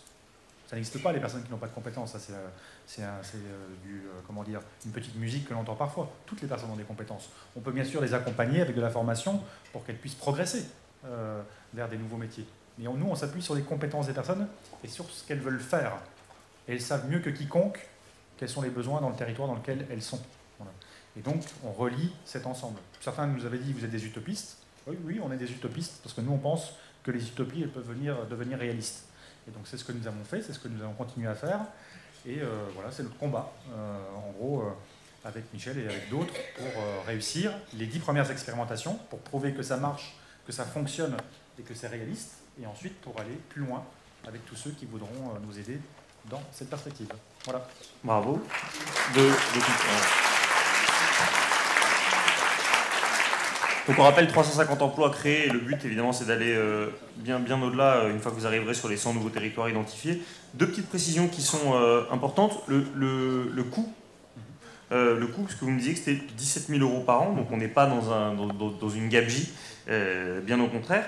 Et revenez, un mot, parce que vous êtes passé rapidement là-dessus, et moi je trouve que c'est vraiment particulièrement intéressant sur le consensus pour, euh, pour créer ces emplois, pour s'assurer que effectivement on déshabille pas Pierre pour habiller Paul et que le- l'emploi qui est créé ne, ne lèse personne. Comment ça se passe D'abord, sur les coûts, le, le coût du chômage longue durée pour une personne a été estimé à environ 17 000 euros, coût direct et indirect pour l'État et les collectivités territoriales, puisque, exemple, les dépenses de santé, plus vous êtes au chômage de longue durée euh, longtemps, plus vos conditions de santé se dégradent, cela représente un coût pour la société, au-delà des difficultés, euh, bien sûr, pour la personne. Toutes ces dépenses ont été estimées par une étude qui a été menée par Denis Prost avec le, le soutien d'ADP Carmonde et validée par l'économiste Jean Gadret. Euh, ce sont des dépenses hors dépenses de l'UNEDIC, parce qu'on n'a pas pris en compte les dépenses de l'UNEDIC pour, en particulier, ce qu'on appelle les seniors, mot euh, aussi euh, souvent à la mode, et bien, pour, qui ont une durée d'indemnisation plus longue, et on pourrait intégrer ces dépenses aussi au-delà des 17 000 euros. Et on pourrait in- intégrer d'autres dépenses, puisque il y a certains pays qui ont estimé le coût du chômage longue durée par personne à environ 25 000 euros. hein. Donc ces 17 000 euros sont mobilisés pour financer une partie de l'emploi supplémentaire créé dans le territoire. Le coût du SMIC, c'est environ 20 000 euros. Donc bien sûr, les activités qui sont développées, euh, elles visent à vendre aussi des services avec un prix. Voilà. qui va permettre aussi d'équilibrer le modèle et de faire en sorte que ces entreprises, au fur et à mesure du temps, gagnent en autonomie financière puissent se développer. Et puis si elles inventent un modèle qui fonctionne tout seul parce qu'elles vendent des services merveilleux, eh elles retourneront dans l'économie classique, tout simplement. Hein, donc ce n'est pas un problème. Ensuite, sur le consensus, ce n'est pas, un dispositif qu'on défend. On ne défend pas euh, ni une usine à gaz, ni un dispositif supplémentaire qui s'ajoute à toutes les lignes de dispositifs. C'est un projet humain et territorial qui s'inscrit dans le cadre d'un consensus local avec tous les acteurs. Ça veut dire que oui, ce projet il est construit avec les acteurs de l'insertion. Euh, ce projet ne s'oppose pas à l'insertion, il est complémentaire de l'insertion, par exemple. Hein. Euh, il ne prend pas des emplois à d'autres entreprises. Pourquoi? Parce que la condition préalable, c'est de ne pas entrer en concurrence avec des activités existantes. D'où le fait que les territoires d'expérimentation qui ont été choisis sont souvent des territoires ruraux ou périurbains. Je me rappelle les longues discussions qu'on avait eues avec Michel à ce sujet à l'époque. Il y a quelques territoires urbains qui ont été choisis, comme le quartier de Villeurbanne à Saint-Jean, par exemple. Il y en a aussi dans le nord, à Lille ou à Tourcoing, ou même à Paris. Euh, mais c'est plus difficile dans un territoire urbain et grand euh, de ne pas percuter une activité existante. Donc ça fonctionne mieux, en tout cas on pense, dans un territoire euh, bien défini, pas trop grand pour commencer, et ainsi on ne percute pas les activités existantes. C'est une des conditions qui est vérifiée par en particulier Louis Gallois en tant que président du fonds d'expérimentation, et on sait pouvoir compter sur sa rigueur pour vérifier cela dans chaque territoire et vérifier qu'on ne percute pas une activité existante. Ah, merci d'avoir précisé, parce que moi je la trouve admirable, cette démarche. Je vais, me tourner vers votre voisine, Valérie Decaux, vous êtes la DRH du groupe Monoprix. Alors je ne comprends pas trop, parce que quand on, s'est, quand, on a échangé, vous faisiez assaut de modestie en parlant de votre petite entreprise qui fait ce qu'elle peut, mais enfin, euh, Monoprix, c'est quand même 22 000 salariés, ce qui est, ce qui est pas rien. Euh, vous êtes arrivé dès le début de nos échanges et vous avez dû être sensible à la table ronde précédente euh, aux, tensions contradictoires qu'il y a effectivement entre euh, tous les chercheurs d'emploi et les formations, parce que vous, évidemment, vous avez des métiers dits en tension et vous avez résolu cette quadrature en faisant en sorte que quand vous ne trouvez pas les... Vous avez particulièrement parlé de l'insertion des jeunes, quand vous ne trouvez pas les jeunes qui ont déjà les qualifications nécessaires, et eh ben vous, vous devancez en formant vous-même. Effectivement, c'est. Euh, Parlez bien dans le micro. Oui, pardon. Euh, l'emploi, enfin, vous, connaissez le, sujet euh, bien mieux que moi, mais pour, un employeur, alors pour le coup territorial, Monoprix, c'est 600 magasins. présents sur tout le territoire. Alors c'est vrai, plus largement, c'est une enseigne qui est urbaine, c'est une, vieille maison qui a plus de 85 ans, donc tout le monde connaît Monoprix depuis longtemps. Et la quadrature du cercle pour nous, c'est que euh, oui, on a euh, énormément de postes qu'on n'arrive pas à pourvoir. Alors ça, c'est toujours un sujet qui, m'agace et que j'essaye de, résoudre. Et, franchement, c'est pas simple, et notamment sur ces fameux métiers euh, dits de bouche, les pâtissiers, les boulangers, les bouchers, les charcutiers, les poissonniers, bref, c'est une vraie galère. Euh, il y a une vraie concurrence euh, de, tous les, acteurs euh, sur, ces sujets. Et donc, voilà, donc avec moi derrière des, magasins qui, râlent en disant Mais qu'est-ce que, qu'est-ce que vous fichez au recrutement On ne trouve pas comment se fait-il, effectivement, avec 3 millions de chômeurs, qu'est-ce que vous foutez? Enfin, je, m'exprime comme je l'entends. et on s'est dit ben, Au fond, si, on ne trouve pas, il va falloir qu'on soit malin et qu'on se fabrique nous-mêmes euh, ben, ces, jeunes, ces, qualifications, puisque euh, visiblement euh, les systèmes éducatifs, et, je le déplore, mais ne permettent pas, pour aussi des raisons que ces métiers n'attirent pas à tort, parce que c'est des vraies compétences, ça permet d'autres évolutions. Donc on s'est dit, ben voilà, on, va se créer des partenariats avec des centres d'apprentissage, des centres de formation, et on va se monter. On l'a fait euh, beaucoup sur Paris parce qu'on est largement euh, Paris-Île-de-France, euh, mais aussi sur Lyon et sur Marseille. donc des campagnes de recrutement où en gros le, deal qu'on propose aux jeunes, c'est rentrer chez nous, on vous forme en lien avec des professionnels du métier. Et si vous réussissez votre formation théorique et qu'au surplus vous réussissez en apprentissage chez nous euh, dans, nos magasins, on vous garantit euh, un emploi. On vous embauche et voilà d'ailleurs les conditions euh, dans lesquelles vous, vous, serez embauché.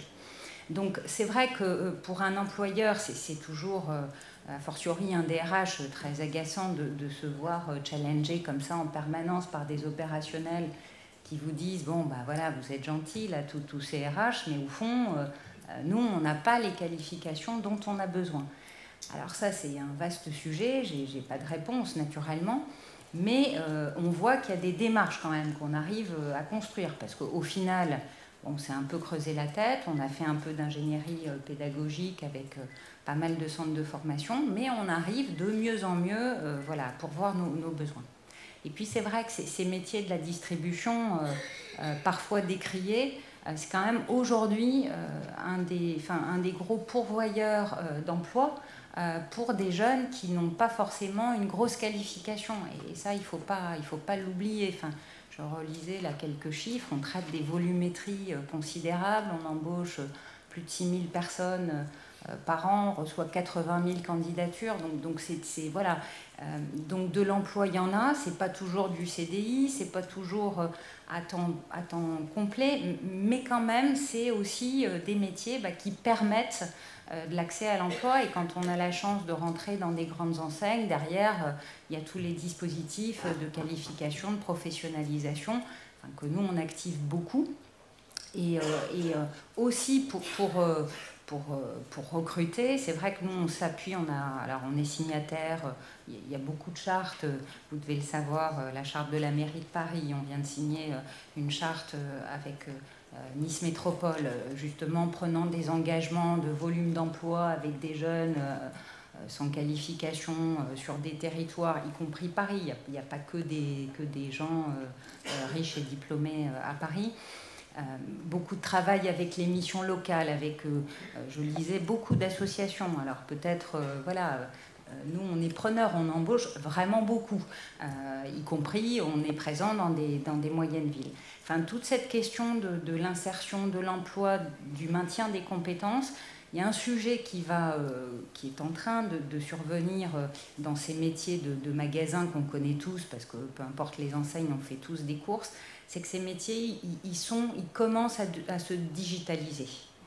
Euh, et, sans penser à une disparition totale des hôtes de caisse, etc., à laquelle je ne crois pas, parce que je crois au lien social, au fond, il y a l'utilité sociale des enseignes, euh, mais euh, comment effectivement bah, ne pas perdre, entre guillemets, euh, nos employés qui ne sont pas toujours qualifiés et, comment les, former progressivement à tous ces outils qui, sont en train d'arriver, où demain, on va pouvoir aussi faire nos courses en scannant depuis notre téléphone euh, quelques articles sans passer à la caisse. Et là, il faudra que l'équipier soit en conseil du client.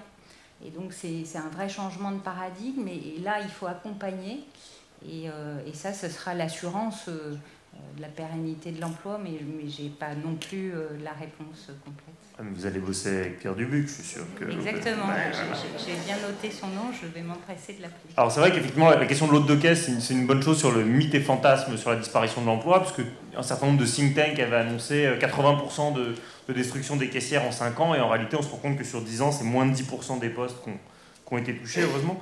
Peut-être juste un mot, je sais que je dois vous libérer. Euh, sur, quand on parle de l'obsolescence et de la question des formations, je crois que votre entreprise a une, fondation et que notamment votre fondation, en plus d'abonder en, financier, vous demandez à, tous vos cadres, à tout votre COMEX de, donner du mécénat de compétences et donc de faire comme Michel de Virville et de prendre de leur temps euh, pour conseiller les jeunes. Et vous aviez notamment euh, le, cas d'une jeune euh, que vous aviez rencontrée et qui voulait devenir secrétaire et à qui vous aviez expliqué que ce n'était pas nécessairement une voie d'avenir pour elle alors qu'elle n'avait même pas 20 ans.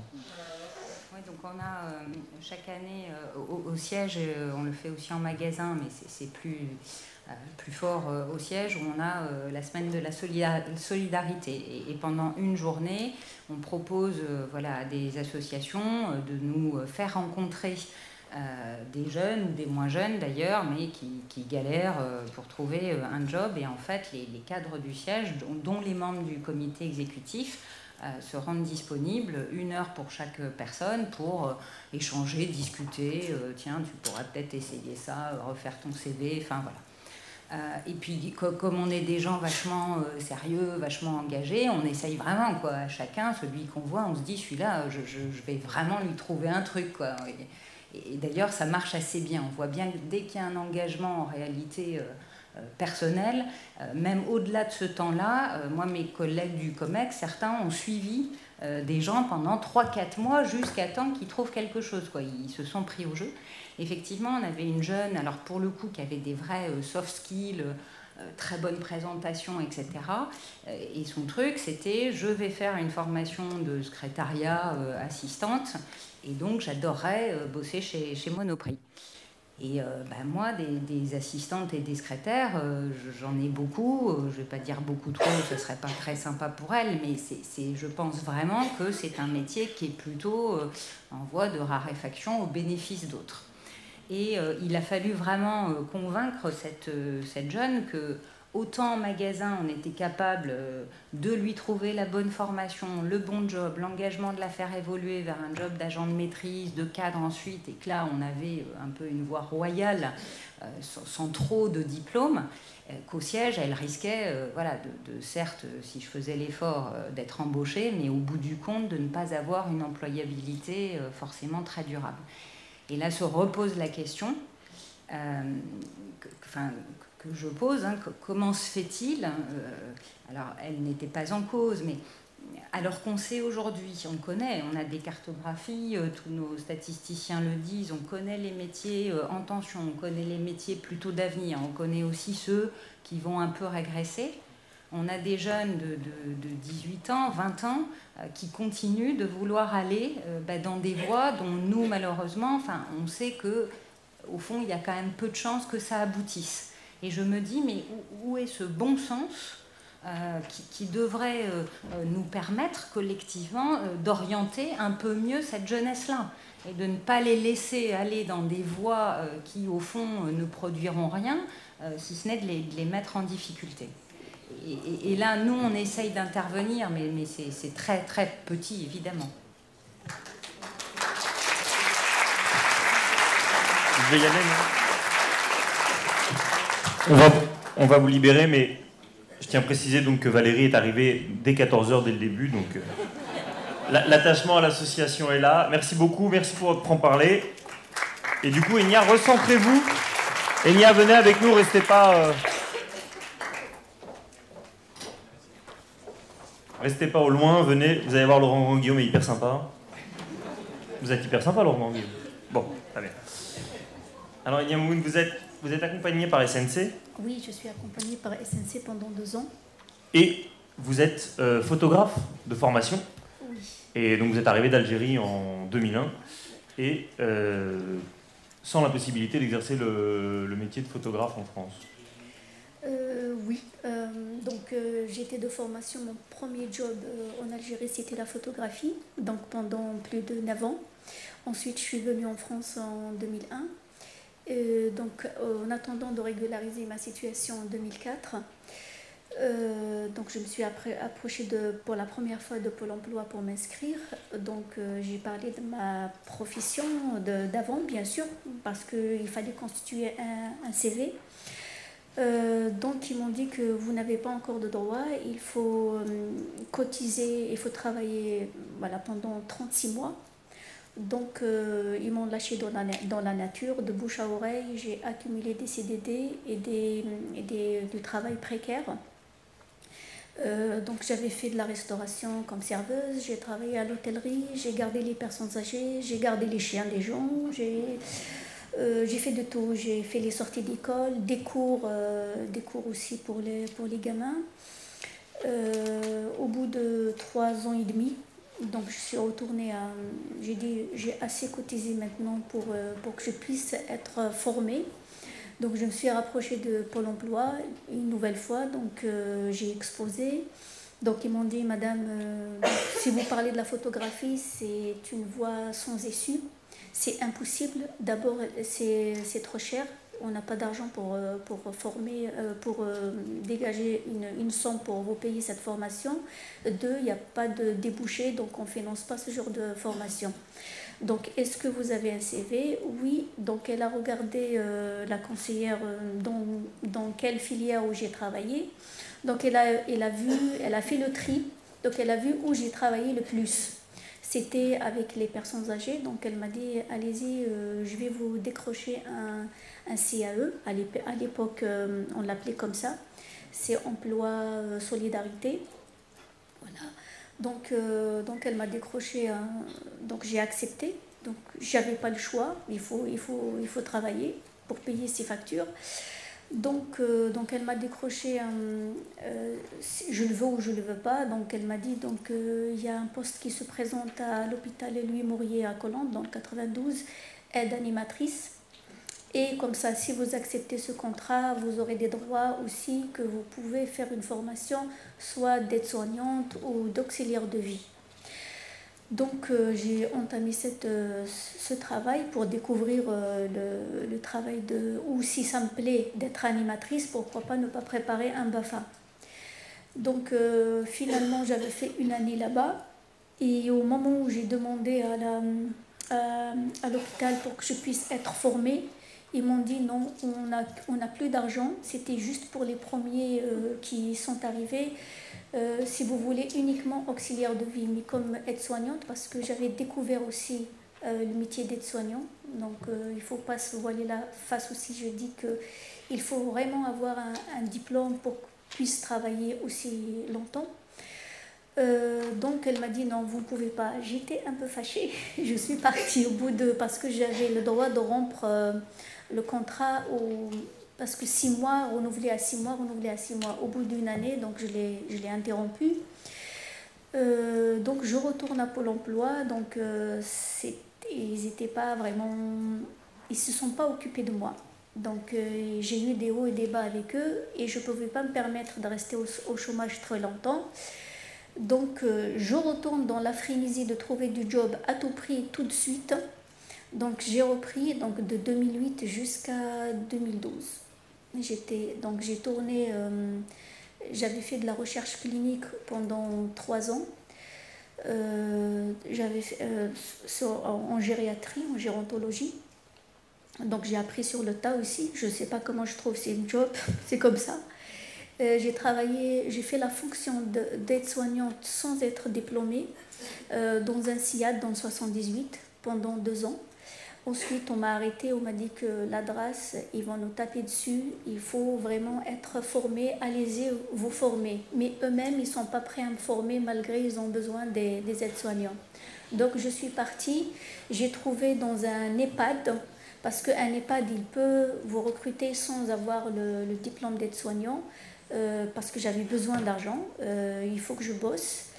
Euh, Pôle emploi, elle n'ouvre pas les portes facilement.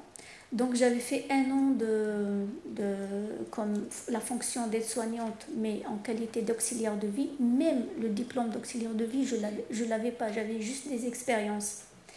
Et puis en 2012, j'ai, au 30 juin, euh, septembre 2012, j'ai dit stop, arrête, parce que je, je rentre dans une dépression, parce que je trouve plus euh, une place aussi facilement qu'avant. Il faut être vraiment formé, diplômé, sinon on ne vaut rien. Donc j'ai dit non, stop, il faut que je, je, m'arrête, euh, il faut que je me pose, il faut que je fasse cette formation. Je retourne à, à Pôle emploi en, en, en 2012. Et voilà, donc pour toucher les indemnités, donc il m'a fallu plus de 7 mois, presque 8 mois. Donc j'ai vécu sur mes économies et, j'étais endettée, euh, voilà, j'étais embêtée par la banque, euh, voilà, je emprunte par-ci par-là.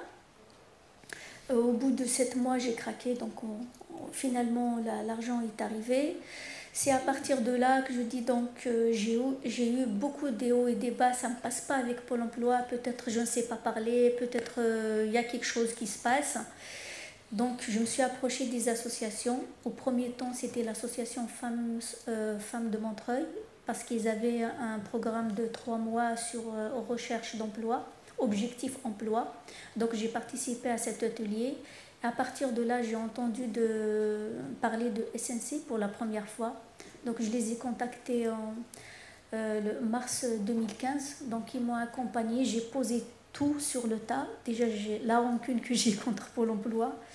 Euh, donc, ils m'ont servi, entre guillemets, de médiateur. Euh, quand je, je, me présente vers, vers, vers un conseiller, et je reviens avec une, réponse et mes deux conseillers, l'une d'elles, je ne le savais pas, elle travaille à Pôle Emploi. Et moi, je disais des choses. voilà. Donc, euh, mais par contre, elle m'a bien coachée, elle me forme, elle me, euh, je sais quoi dire, j'étais sûre de moi-même quand j'arrive.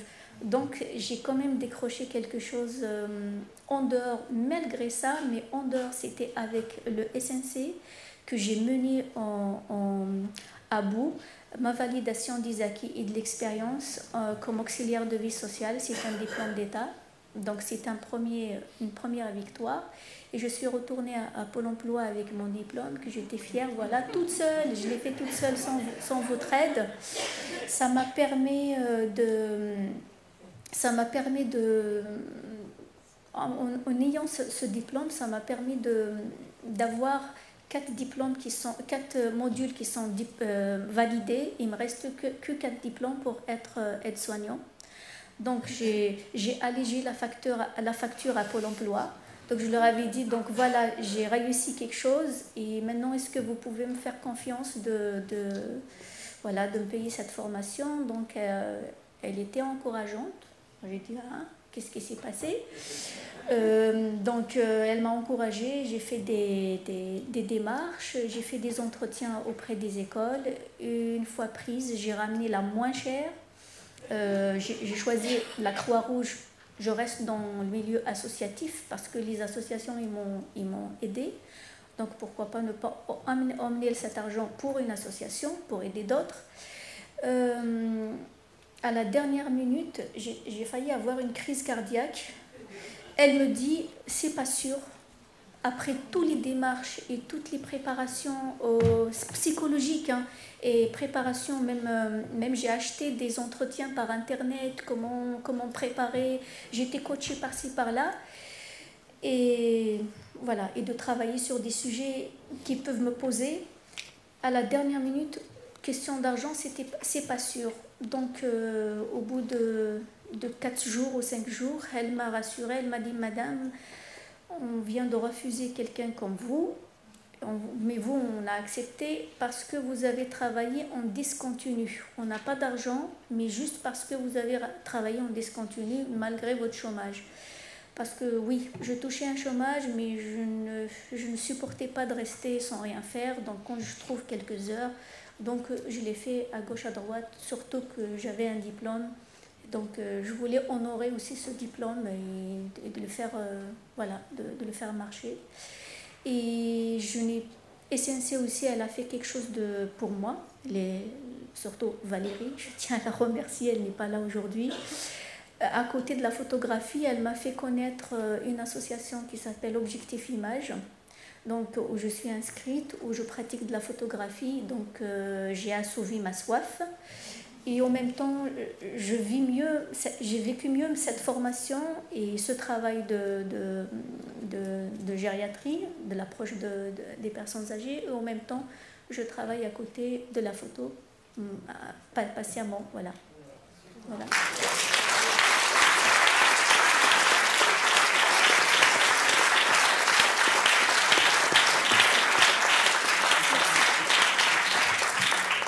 Pas facile de passer après vous, euh, Peut-être juste avant de demander à Elisabeth euh, de, de, plutôt le tour de table, euh, Laurent Conguillaume, un, un, petit commentaire sur cette, anecdote qui montre à quel point le, système de formation et d'indemnisation chômage français est, performant.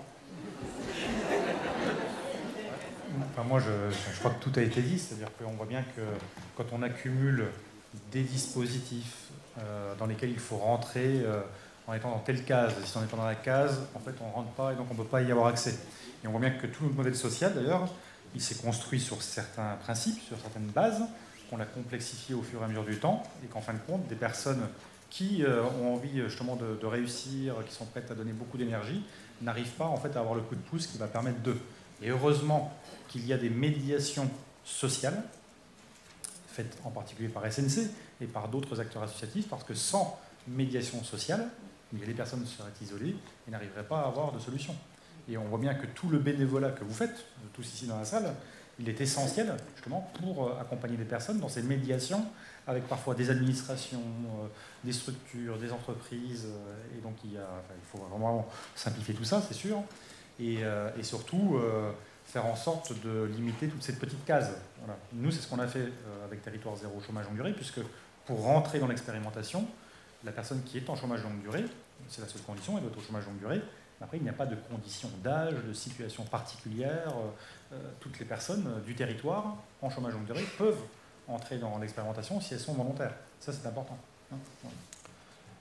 Elisabeth, vous, êtes chef d'entreprise dans le civil et bénévole SNC depuis 2009. Un, un petit commentaire aussi sur. Je, vous, entendais hors micro me glisser à l'oreille quel courage, parce qu'effectivement, c'est vrai qu'on n'a pas, pas l'impression que Kenya ait bénéficié de toutes les aides possibles euh, avant de rencontrer Valérie. Euh, c'est vraiment épatant à chaque fois. Enfin, moi, ça me sidère hein, euh, ce que peuvent traverser les, chercheurs d'emploi et l'énergie, le courage hein, qu'ils peuvent avoir et qu'ils peuvent montrer à tous les instants.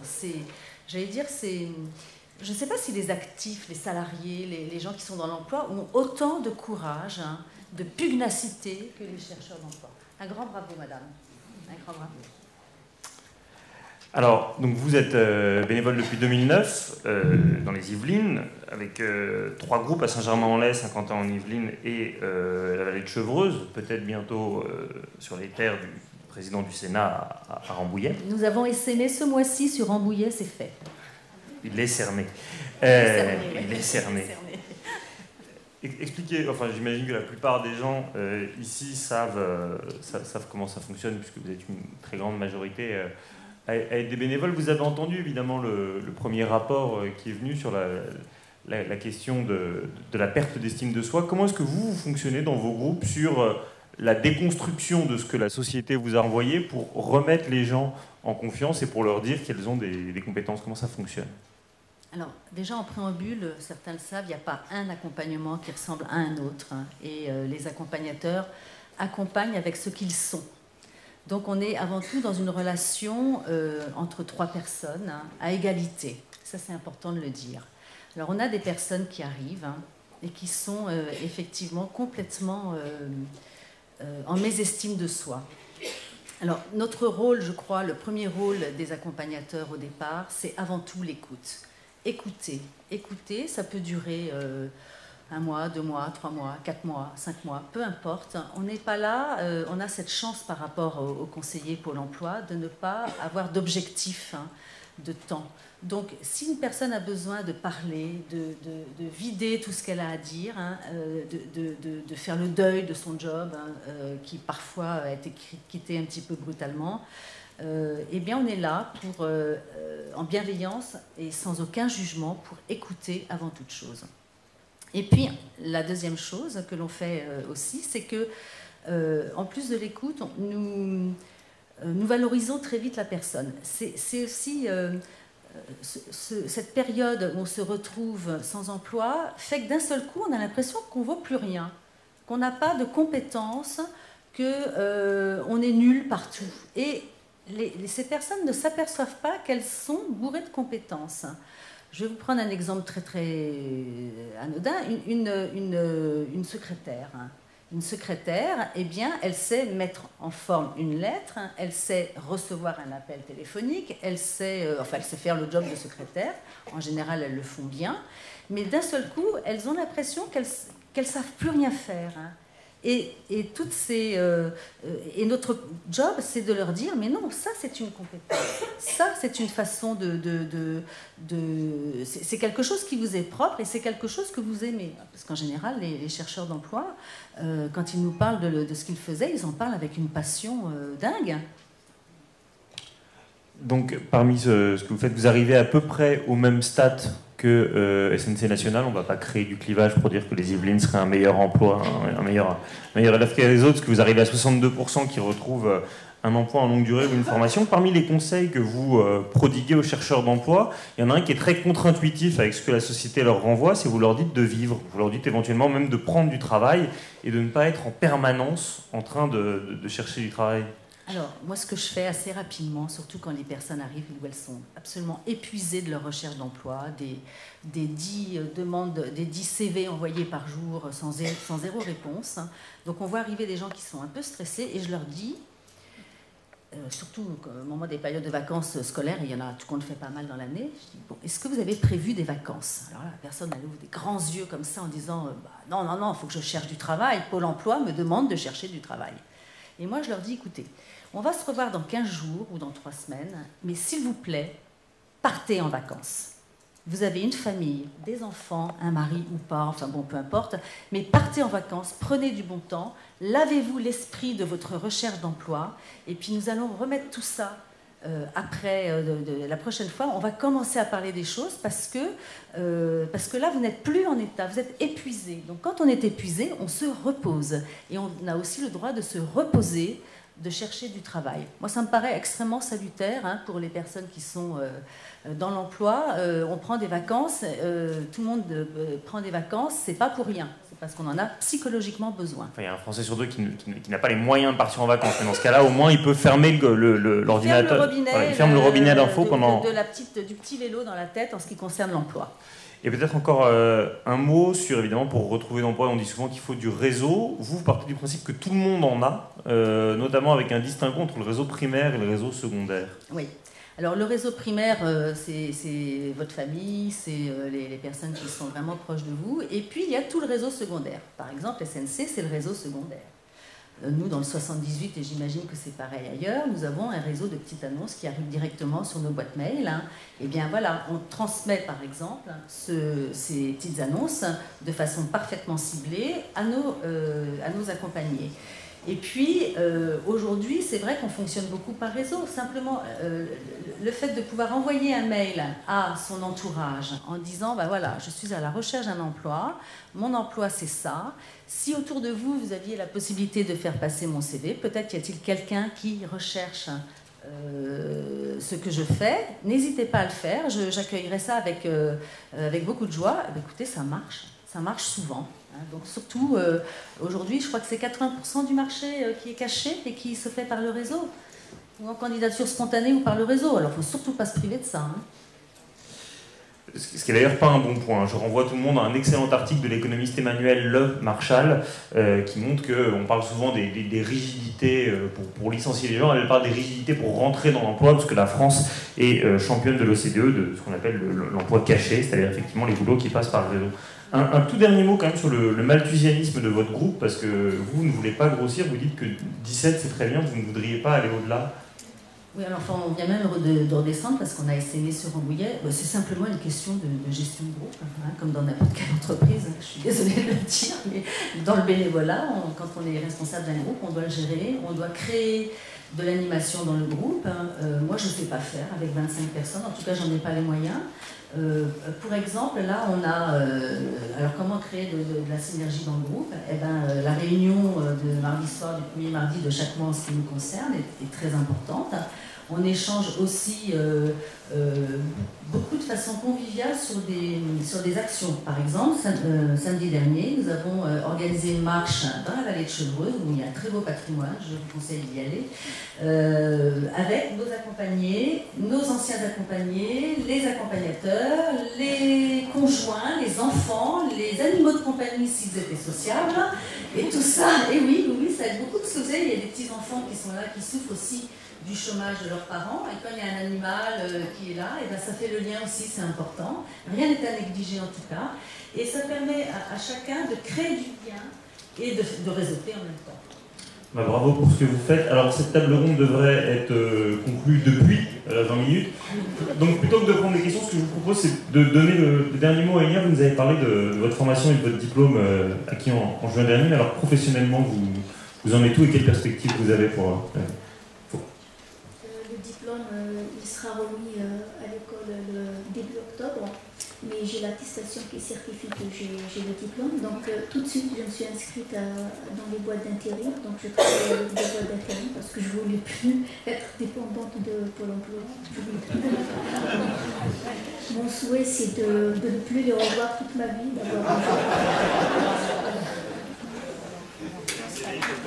Merci beaucoup à tous les trois. Merci infiniment.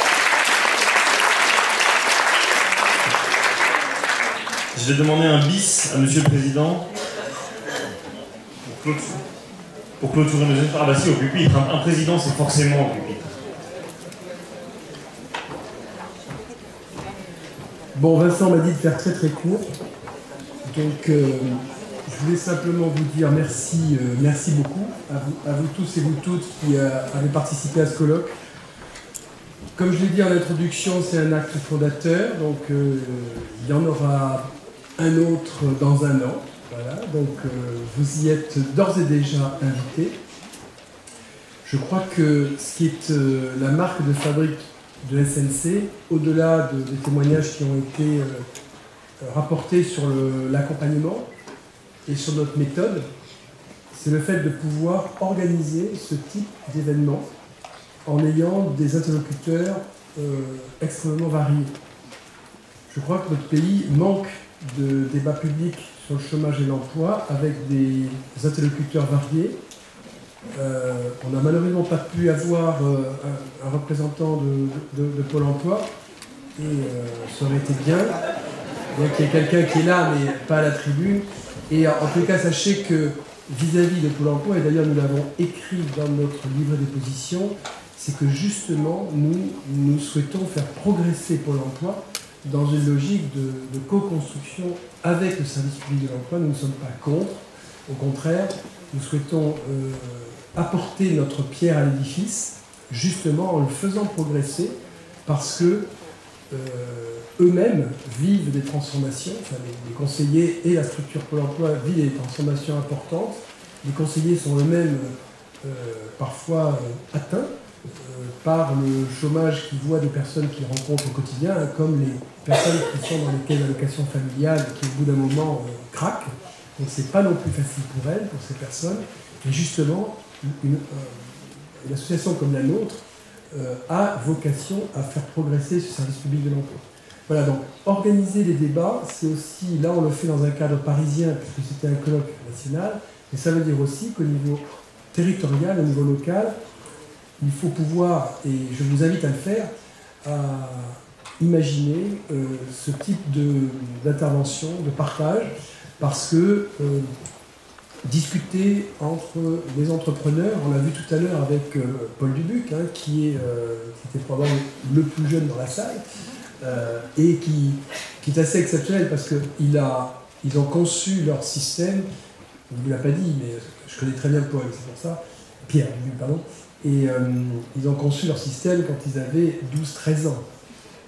C'est pour ça que quand, Vincent a dit qu'il a à peine 30 ans et qu'il a 19 ans d'expérience professionnelle, c'est pas faux. Et ils ont commencé à penser à aider leurs copains en classe quand ils avaient 12 et 13 ans. C'est quand même assez extraordinaire. est. Voilà, donc de faire partager ces choses, parce que aussi au niveau territorial, vous avez des liens avec les élus, avec les politiques euh, locaux, qu'ils soient euh, départementaux, régionaux, euh, municipaux, et qu'ils ont besoin aussi d'entendre ce qui est dit. Ils ont besoin d'entendre des témoignages comme celui de qui, euh, qui montre qu'un parcours professionnel, euh, tel qu'on peut l'entendre dans certains discours et à la télévision, en disant ben voilà, euh, vous êtes contrôleur de gestion, il y a des postes de contrôleur de gestion, donc vous avez qu'à bosser et vous avez qu'à y aller, et euh, vous êtes encore content d'avoir touché des allocations, enfin, des allocations de, de chômage. C'est pas comme ça que ça marche. Le témoignage d'Emia l'a bien montré. C'est pas comme ça que ça marche. Pourquoi? Parce que euh, quand vous êtes euh, euh, au chômage, quand vous êtes salarié, eh bien, vous doutez, vous, avez des préoccupations, vous avez des ruptures, vous avez des, baisses, de, régime en termes de, dynamisme. Et ça, ça c'est pas binaire. Il faut bien qu'il y ait un service d'accompagnement global. Et je retiens quand même de, ce colloque que la plupart des interlocuteurs, institutionnels ou autres, euh, reconnaissent le, prix et la valeur de cet accompagnement. Maintenant, on va être euh, tous ensemble très vigilants sur les discussions qui vont être lancées dans le cadre de la réforme de la formation professionnelle qui démarre avec les partenaires sociaux. Euh, nous, œuvrons avec Vincent pour que le monde associatif soit aussi partenaire de cette réflexion, que ce ne soit pas uniquement laissée aux mains des partenaires sociaux, parce que le monde associatif a aussi sa pierre à apporter, et notamment par les témoignages de ce que nous a dit Enya, et, il faut aussi qu'il l'entende et qu'il l'écoute. Voilà, donc merci à vous d'être venus pour ce colloque, et j'espère à l'an prochain pour un nouveau colloque.